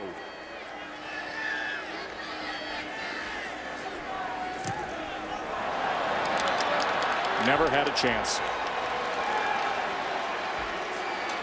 Uh, By eight. Let's check in with Ryan Burr. All right, Test Sports Center in game, game one, Tigers Yankees. It has been postponed after a one hour, 15 minute rain delay. Game one will be picked up 8:30 Saturday night, 1-1, bottom of the second inning. They'll pick the game up 1-1, bottom second on Saturday night. Game two will be played Sunday night, 7 p.m. That was their scheduled off day. Once again, tonight's game has been postponed. Enjoy the football, Tess. We will, Ryan. Hope everybody is that was planning on watching baseball. That was a special night of Major League Baseball on Wednesday night, wasn't it, Rob? Loved it. Here's Keeton on first down. And he just sends it out. How about the fact that when the Red Sox lost, the Rays came back within three minutes of that with the walk You're sitting there channel surfing in your living like, room. you kidding me? Speaking of baseball, this is like a foul ball. Look at where Keeton sends this one. yeah, well, he played a little baseball in high school. He knows how to toss a ball. Toss that one way out of the way. Second and 10 now. Turbin cuts back, and now he gets going. And when Turbin gets going, watch out because defensive players are going to go flying. That's a first down for the Aggies. He just doesn't get enough touches. I agree. As they rush to the line here. Hurry up. Gets the rock this time. And once again, Turbin powers his way through. A gain of nine yards for Robert Turbin. And he's a guy who needs 20 to 25 carries a night. He's strong enough. Four touchdowns last week against Colorado State. As two tonight had an 80 yarder to open up the game. Great balance, good vision, very patient runner. Michael Smith now in the backfield on second and one. And Smith picks up the first down. And that offensive line of Utah State keeps after it, crossing the 45. You know, we were talking about Turbin and his attributes. And he is a guy that is drawing some interest from NFL scouts because he's a big back, good speed, can catch the ball out of the backfield, really good vision, He's impressive. but just not enough touches, only seven tonight. Williams with a two yard gain. That's part of the reason why he doesn't get an, an awful lot of touches. Smith and Williams are pretty good in their own right. Yeah, Smith has two runs over 50 yards on the year. And we told you Williams last year against that Boise State defense that was loaded, he had 147 yards at the end of the year. He's missing a wheel right now, though. So second and six. BYU defense has got to come up with a stop here against this running game of Utah State. Smith in the backfield. And they stay with it. Oh, they met him that time, didn't they? That was Eathyn Manumaleuna. And Uona Kaveinga. Well, Kaveinga got in there with a nice shot on Smith. They'll they'll bounce him back. That's big time. Big third down. BYU needs a stop to get off the field. Crowd knows it as they start to roar. Third and six. Keeton on the slant, and he connects with Xavier Martin. A first down for Utah State. They move the chains again. And Keeton is limping a little bit, grimacing. But he was patient, waited for the slant to come open, picked up the first down. He took a hit at the end of that throw. Utah State is on the move again. A little underrated in-state rivalry. Getting chippy here between the Aggies and the Cougars. Eight-point lead for Utah State as we head to the fourth.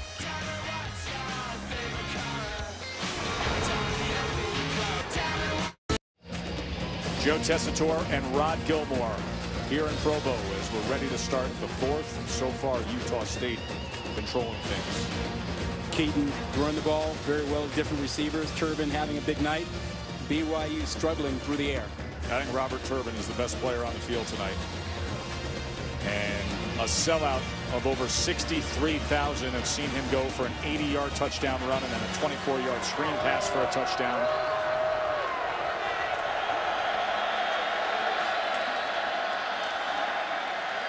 And this is Williams, and Williams gets to the outside, and Williams breaks free inside the 10. It'll be first and goal for Utah State. It has been any number of running backs tonight with this running attack. Van Noy just gets moved out of the way completely with a great block. Full start. Offense. Number 66. Five-yard penalty. First down. That's Schultz with the false start. It's going to push them back over 200 yards rushing tonight for Utah State. They came in as the fifth best rushing attack in the nation, averaging 316 yards a game. Smith now as he gets it to the six yard line where it'll be second and goal. And they opened up the season with more than 200 yards rushing against Auburn and actually should have won that game. They had Auburn beat until a late onside kick was recovered by Auburn. Remember, Auburn needed that late rally, and then a week ago they went for two in overtime and lost to Colorado State. This is a, a team that feels they're just a couple plays away from 3-0. What a win this would be for them. Keeton keeps it himself, and he is met right away. He had nowhere to go because Hedron Fangupo was never sold on it. BYU desperately trying to hold on and hold them to a field goal attempt here. A touchdown would almost be insurmountable for BYU the way their offense has struggled. Utah State seven for eight on their last third downs. Third and goal.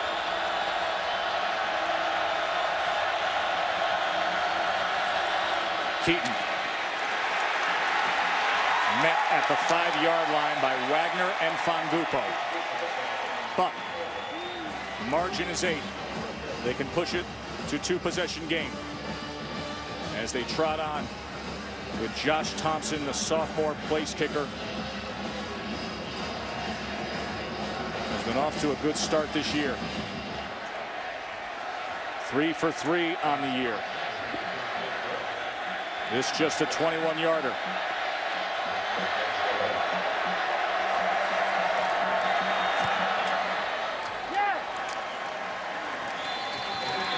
makes it an 11-point game. Could it be back-to-back years for the Aggies over BYU? Stay with us.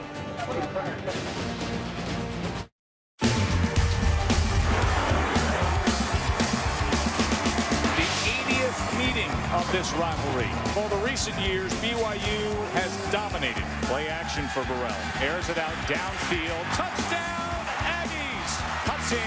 With ease. Utah State just dominated straight through. And the Aggies have the win they've been waiting 17 years for. And now they may soon have the win that they've been waiting since 1978 for because that's the last time they won here at BYU. BYU needs a fourth quarter rally down 11.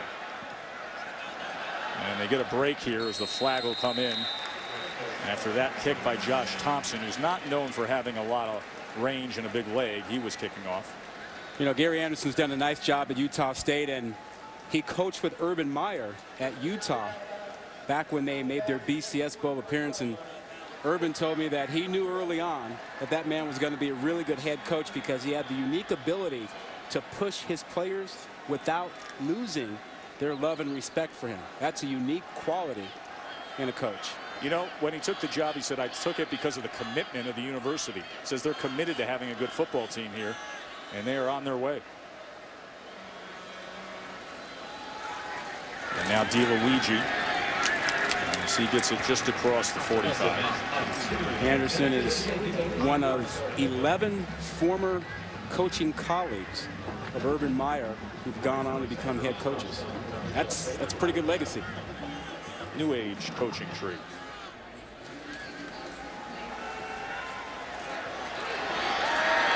Riley Nelson. And he's able to complete it. Took him a while, found a target. It was Bryan Kariya, and it's a first down to the Utah State 45. Well, he has an ability to create with his feet that Heaps doesn't quite have. And they hurry to the line. Jake Heaps on the bench. Riley Nelson trying to spark a comeback. DiLuigi, good scene by DiLuigi. And he's down to the 31-yard line as he was tackled by McClenton. This is a must-score drive for BYU. And we've seen it all night. This is the area where they start to struggle. Now, they can't back off. They have to be aggressive down here. 14-yard run by DiLuigi. Nelson He's going to do it himself.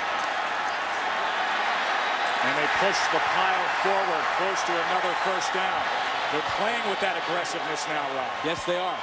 And that quarterback run, the quarterback design run is something they did not have in the package of plays with Heaps. They pulled Heaps in the third. They brought in Riley Nelson, the one-time starting quarterback at Utah State who transferred to BYU. Second and one. Oh, he threw it low. Soft arm that. And that's the matchup you've been talking about all night, Rob. They've had it all night. DiLuigi coming out of the backfield, man-to-man, -man, matched up with that time Wagner, a linebacker. That is a big mismatch. They can't they can't get enough of that one. They got to find it again. So instead, it's third and one. They bring a blitz.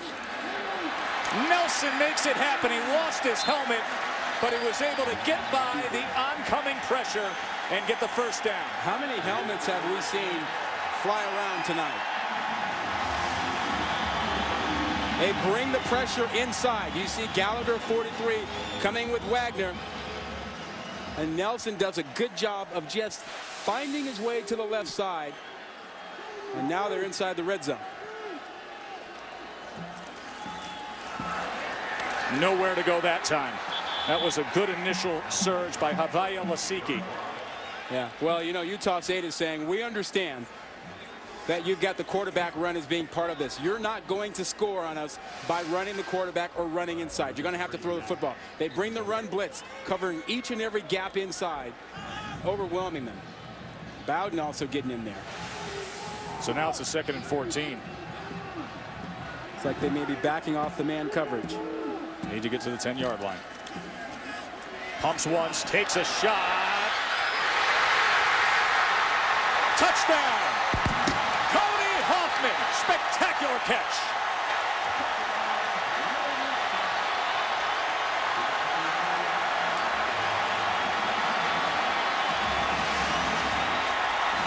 He beats Robertson here. He got him in single coverage, made a great catch, and got the right foot inbounds. You could see it clearly from that angle. And that's what we were talking about earlier. Having a wide receiver make a play to help out the quarterbacks. They weren't making catches like that when Heaps was in.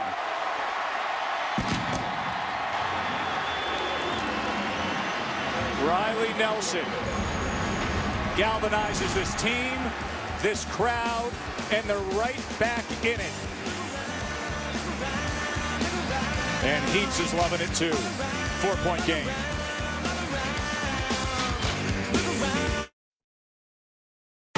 ESPN's College Football Primetime is presented by Russell Athletic, who remind you that together we are.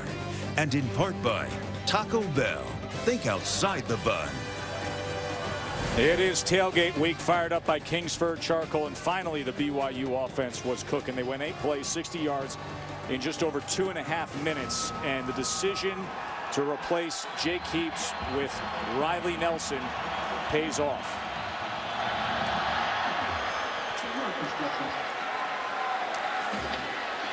Williams is going to take this out. Only to the 15. Here's Ryan Burr. Sports Center right now. Tampa Rays beat the Rangers 9-zip. Matt Moore becomes the youngest starting pitcher to win his team's first game of the postseason, surpassing Gary Nolan of the 1970 Reds. Seven innings, two-hit ball. Rays lead the series 1-zip. Major League Baseball announced tonight that the Yankees-Tigers game has been suspended due to rain. They'll pick up that game, game one, 8.37 on Saturday. Ivan Nova against Doug Fister. Guys? Thanks, Ryan. Well, pressure time for the freshman quarterback now. Chuckie Keeton in Utah State. Smith. Good run by Michael Smith. Crossing midfield and finally pushed out inside the 35 by Corby Eason.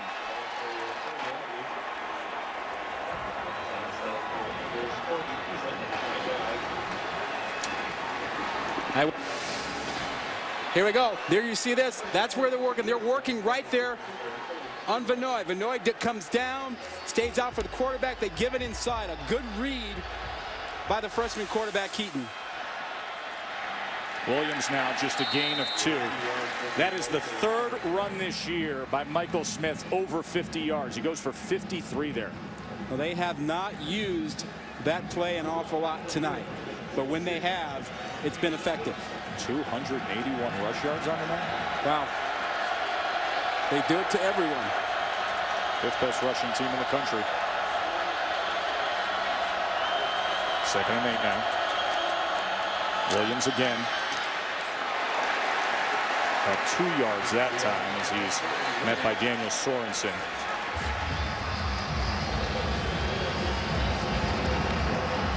Listen to this.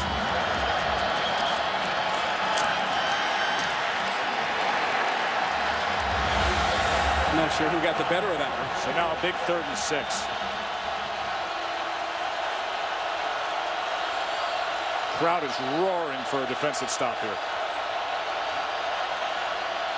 Keeton swings it out of the backfield. Smith, and he's taken down. What a play by Kaveinga. Are you kidding me? The transfer from USC came up big right there. 5'11", 236 pounds, out in the flat in open space with a guy who can really go. Smith, he sizes him up and throws at the right time for that upfield leg and gets a gets both of them. That's a great, great play. We talked about the range of Josh Thompson earlier. This could be stretching it, a 47-yarder, as long as 41. And it's a fake, and he's going to pass. And it's incomplete as Daniel Sorensen stayed with coverage of Taryn Lloyd.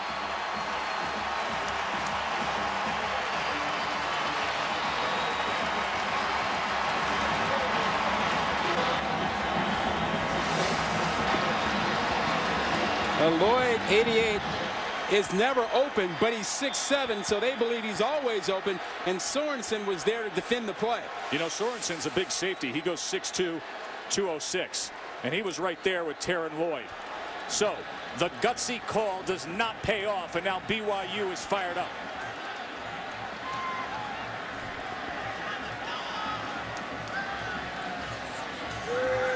Nelson choosing his options. He goes with Kariya, who goes up and over right near the sticks. Robertson and Alexander came in to undercut Kariya, and he went airborne. Well, Kariya has done this the last couple of weeks, and Nelson has given this offense a shot in the arm. Hurry up to the line again. First down at the 40. DiLuigi now. DiLuigi trying to get to the outside, and he cannot do it as Maurice Alexander was on top of him. Remember what has happened to Utah State this year. They had the lead against the defending national champs. They blew that. Colorado State, they had the lead. They lost in overtime. Tonight, they were up 11 earlier in the fourth. Nelson on second and nine. First down, Cougars. Marcus Matthews. Are they not going to give him that forward progress, Ron? Oh, that's that's not a good call. Looked like he was beyond the stick, yeah. and then he was pushed back. I thought he caught that ball at the 50-yard line. Nelson picks it up anyways. How about the official trying to get out of the way? the umpire was running out the side door. Look at this crowd. A sellout of over 63,000. Well, moments ago, they were chanting Riley Nelson. Jake Heaps, the starting quarterback pull. Riley Nelson, the former starter at Utah State, who transferred here to Provo in. Design quarterback run. Here goes Nelson again, and a nine-yard gain.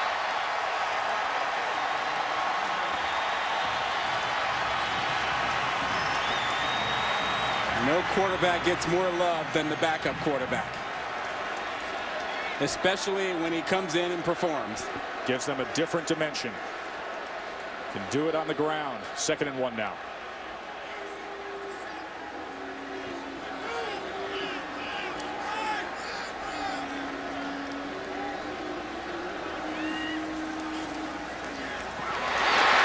Did he bobble that? No. First down catch. Cody Hoffman. Cody Hoffman's come up big, hasn't he? And now the other official is coming in and saying, yes, indeed, he did bobble it. He never had possession. They'll likely take a look at this.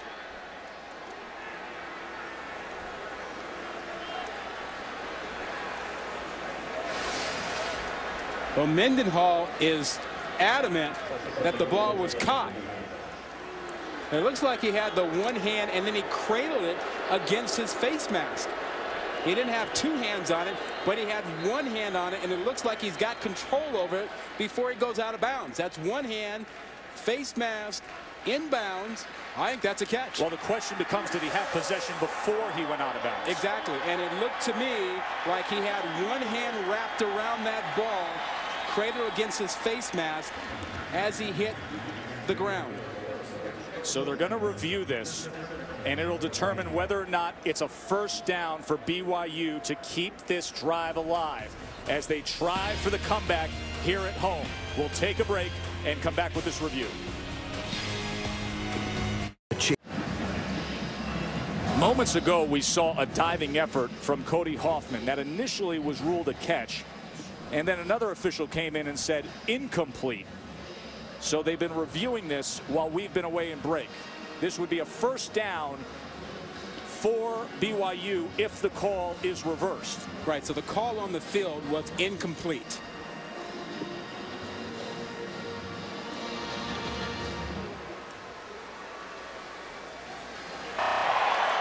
After review, the ruling on the field is reversed to a catch. It will be BYU's ball at the 34-yard line First down. So the call reversed, meaning that there was indisputable video evidence proving that the call on the field was wrong. And this is what we saw. The one-handed catch with the ball cradled against the face mask means he had control. He had possession. The ball was not moving. Now, what surprised me is that the line judge who was right on top of it said, yes, a catch. And then the guy from 20 yards away came in to say incomplete. Yeah. But I think they got it right. First down, BYU.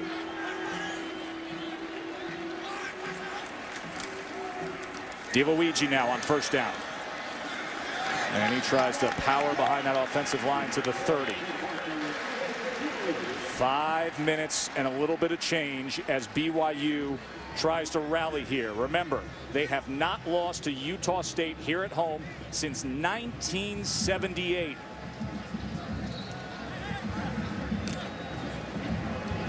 Well, the matchup that has worked or been available to them has been DiLuigi out of the backfield when they put him in the slot or when they simply take him out of the backfield against man coverage as Alexander is down now for Utah State. Maurice Alexander is being tended to. He's had a good night. The outside linebacker for that Aggies defense. Let's take a look at some of the unlimited action coming up this weekend brought to you by Sprint. Robert Griffin, the third road test, Kansas State ought to be a good one. He is hot. And then you look at that Clemson game, you know, they beat Auburn already, Florida State. If they beat Virginia Tech, I think they probably vault into the top 10. It's a huge game. Sammy Watkins, the freshman oh. receiver for them, has been sensational. He's ridiculous. He? He's fantastic. And don't forget Taj Boyd. And he's played great at quarterback for Clemson. So I think if, if they win this game, I think they're moving up into the top 10. Yeah, we'll see what happens. Virginia Tech, of course, very talented themselves. David Wilson at running back and Logan Thomas. And it's going to be a good one tomorrow on ESPN2 at 6. Second and 6 now for BYU. Kariya lowers the pads and spins. It'll make for a third and about two as Chris Harris had the tackle there. Remember, the strong, starting strong safety, McKade Brady, was ejected in the first half of this game. So Chris Harris has had to fill in. There he is, number 10. The ejection occurred because of a hit high above the shoulders. Launching, there's Brady. He was ejected early in the first quarter. Third and two.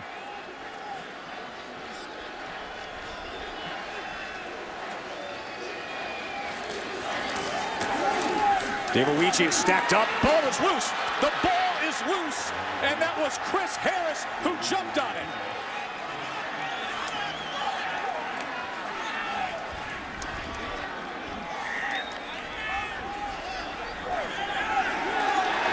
So Utah State takes over. The question is, Tess, was he down? Was he down? No. I don't think he was. Look for the knee. Is the knee down before the ball comes out? Ball is now out and he is still falling. If that is reviewed, it will stand as a fumble.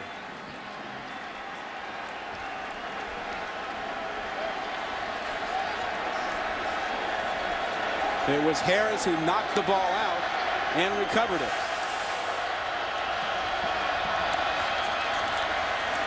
And Turbin with a gain of one. Boy, we were just talking about the role that Chris Harris has played tonight. How McKade Brady was ejected. Their strong safety, who was a track star here at BYU, then transferred to Utah State. And Chris Harris, a seldom used senior, comes in, plays big, and at that critical juncture, gets the fumble recovery. And if you're Utah State, it is your four-minute offense. You need to run clock and pick up a couple of first downs. DiLuigi just hit himself with his helmet. He's so frustrated. I saw that.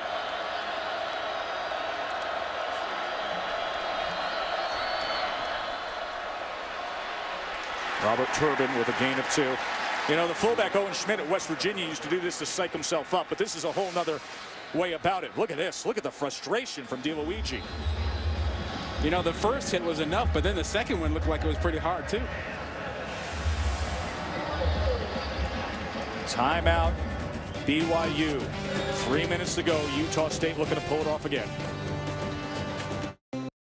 Just the start of a good weekend here. Two primetime games Saturday night on ESPN, 2 and ESPN. First on ESPN 2 at 6 Eastern, Clemson, Virginia Tech, number 13, number 11.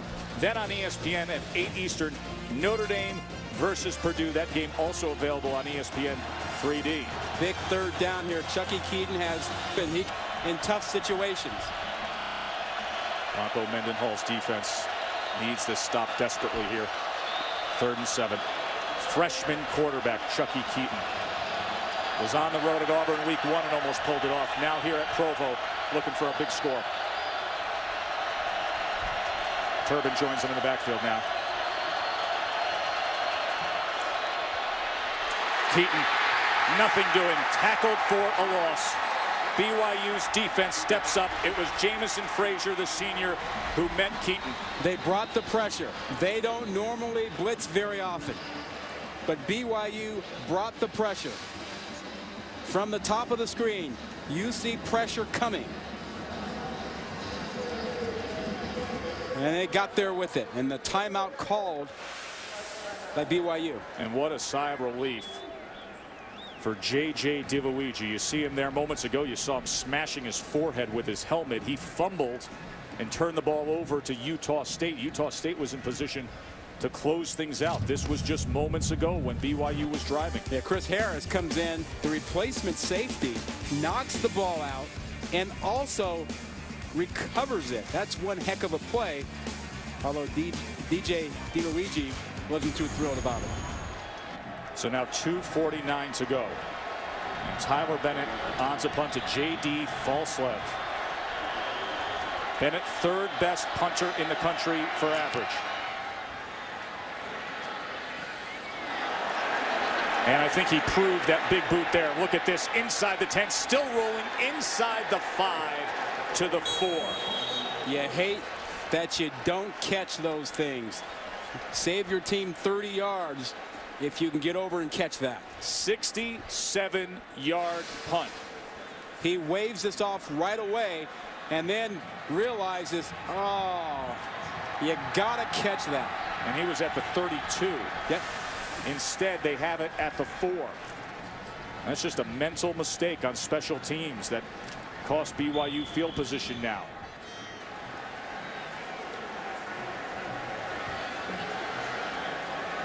Over two and a half minutes, and Riley Nelson, the backup quarterback, who has sparked this offense, trying to make this comeback happen. Quarterback run. And he, get, he did get forward progress out past the one and a half yard line, but Levi Koskan made a very good defensive play. Utah State mixing up what they're doing defensively, going back to zone and running a stunt inside, able to get pressure there with Koskan. Nelson gets it complete. That is Marcus Matthews as they fight for the ball, but he was down just a few yards past the original line of scrimmage. Now on this third down test, Nelson's going to get a chance to throw the football into some windows. I don't expect Utah State to play man coverage or the blitz here. They've got him backed up. They want to make him earn it. Third and six. Need to get out to the 14-yard line. Pressure from behind. It's going to be close. Looks like he got the good spot, and it should be a first down for BYU as Gallagher and Wagner came in, but a first down for Coach Mendenhall's team. And now they'll have to speed it up. Clock is running, only one timeout. Long way to go. They need a touchdown. Nelson complete out there to Jacobson.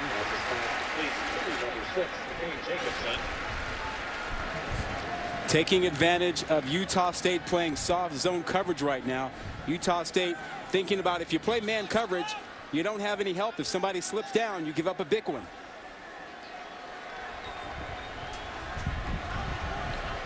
Minute 15. Clock stopped. Second and three. Quarterback run again. Remember, only one timeout. And here goes Riley Nelson. He was tripped up. He was in full sprint, and he was tripped up. But it is a first down as the clock will stop momentarily. Nice out job. to the 34. They, nice job of spreading them out. Utah State defense still walking around. And now a timeout is called by Utah State. The real deal is brought to you by Wendy's.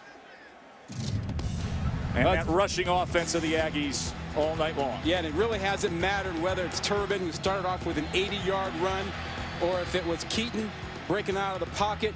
Sometimes it was Williams also getting something done, and Smith got involved as well. But Turbin's been the real guy on the night as they picked up 284 yards on the ground. Real Deal brought to you by Wendy's. To vote for the Real Deal at ESPN.com, you can do it right on your mobile phone. 123 yards on nine rushes for Turbin because he busted out an 80-yard touchdown run on the first play of the game. Now he's hoping that his defense can hold on to this thing. Utah State burned the timeout. They had trouble getting their defense set. They were trying to substitute. They weren't set. 1978, the last time that Utah State won here at Provo.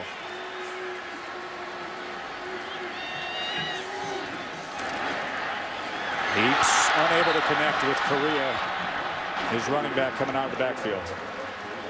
A reminder that Sports Center will follow this game and talk about the baseball playoffs, the cancellation, get you ready for the weekend of college football, including game day up at Wisconsin for number seven against number eight, Wisconsin and Nebraska.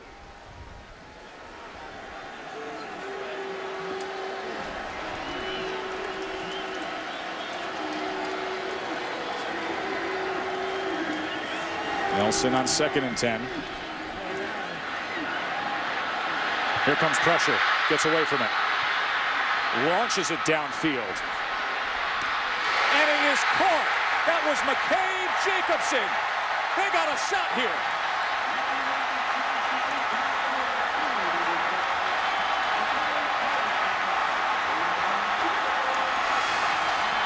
This is all Riley Nelson buying time, and Jacobson coming back to help him out, coming back to the ball.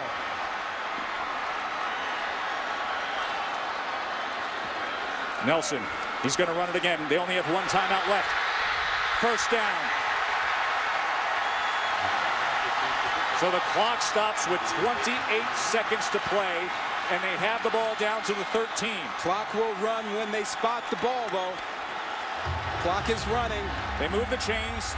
The clock runs again. Got to hurry up. He needs to snap this ball. I, I don't understand that. You know, they had a chance to just go ahead and down the ball and stop the clock and save 10 seconds there. You know, if you don't want to burn your timeout, that's okay. You just line up and spike the ball and save 10 more seconds.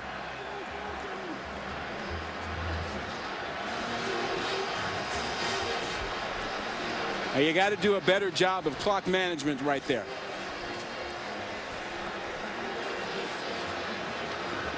Those looks say it all. Watch the clock. We're going to show you this at the conclusion of the last play. So Nelson goes forward.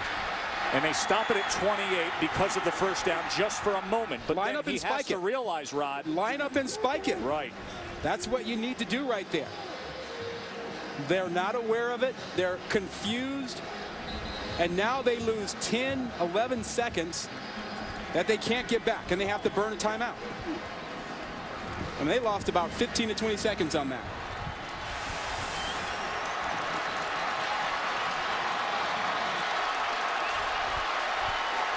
They have enough time for two shots at the end zone, maybe a third. BYU still has the timeout. Utah State just burned one.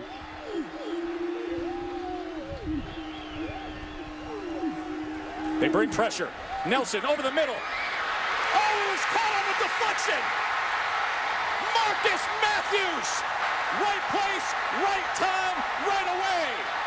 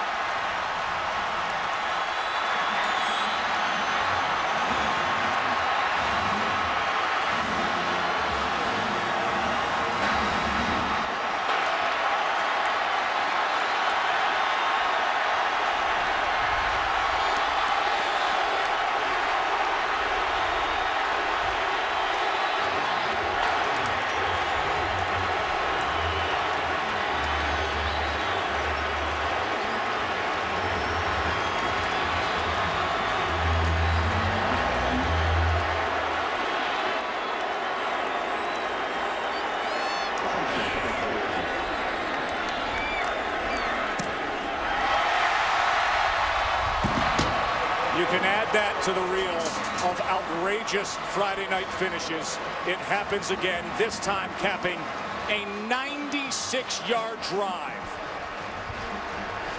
But Will Davis on the coverage, 17, middle of your screen. Watch him do a nice job knocking the ball away, but look who's there. Marcus Matthews, right place for the deflection.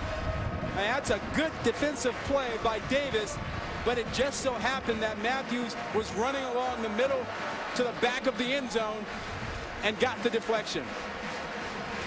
Holding call came on Davis as he batted away. And Marcus Matthews. Now Davis was in there to play single coverage on DiLuigi. Story of the night is Riley Nelson. And Jake Heaps celebrating for the man who replaced him here in the second half. And Gary Andersen, the Utah State head coach. Just fold those arms. Wow. What are you to do? He's had a rough deal with late collapses, tough losses for Utah State to start this season. And they squib it, and the ball comes loose and goes out, leaving eight seconds. What heartbreak it's been all year long for Utah State as only eight seconds remain. Remember, opening week against the defending national champions, they had the lead. They blew it. Last week, Colorado State in overtime, a failed two-point conversion. And here against their in-state rivals, up 11 in the fourth quarter. And now this. Not only up, but in the, the last drive, they had them backed up to their own four-yard line and then got a sack on the first play.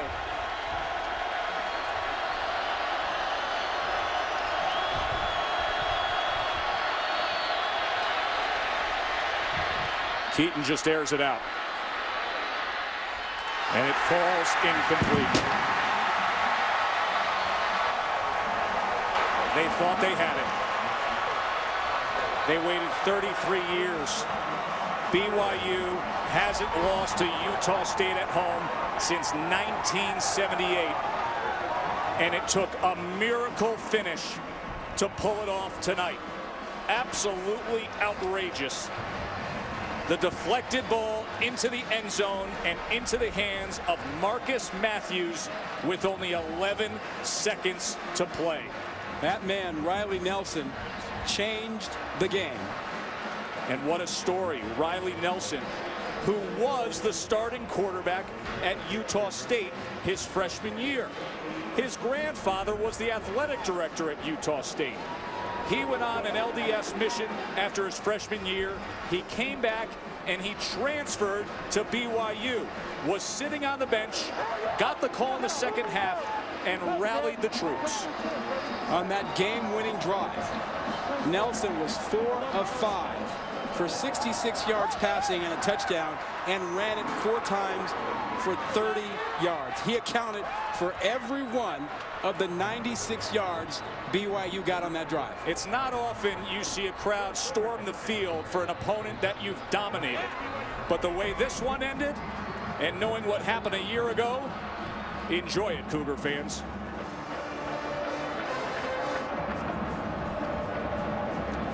Let's take another look at how they did it. Will Davis, Nelson's trying to get it to DiLuigi. He knocks it away. He's thinking good play. And there's Marcus Matthews.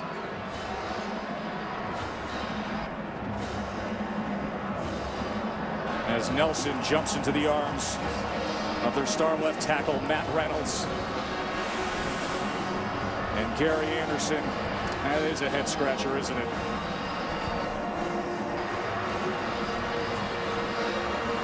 A sellout at LaVell Edwards Stadium. They're going to be celebrating in Provo. Miracle finish.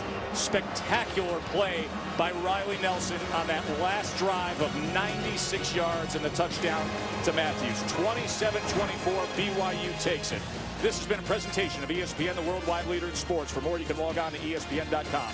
For Rod Gilmore and our entire crew, I'm Joe Tessitore. Enjoy the rest of your night, including SportsCenter right now.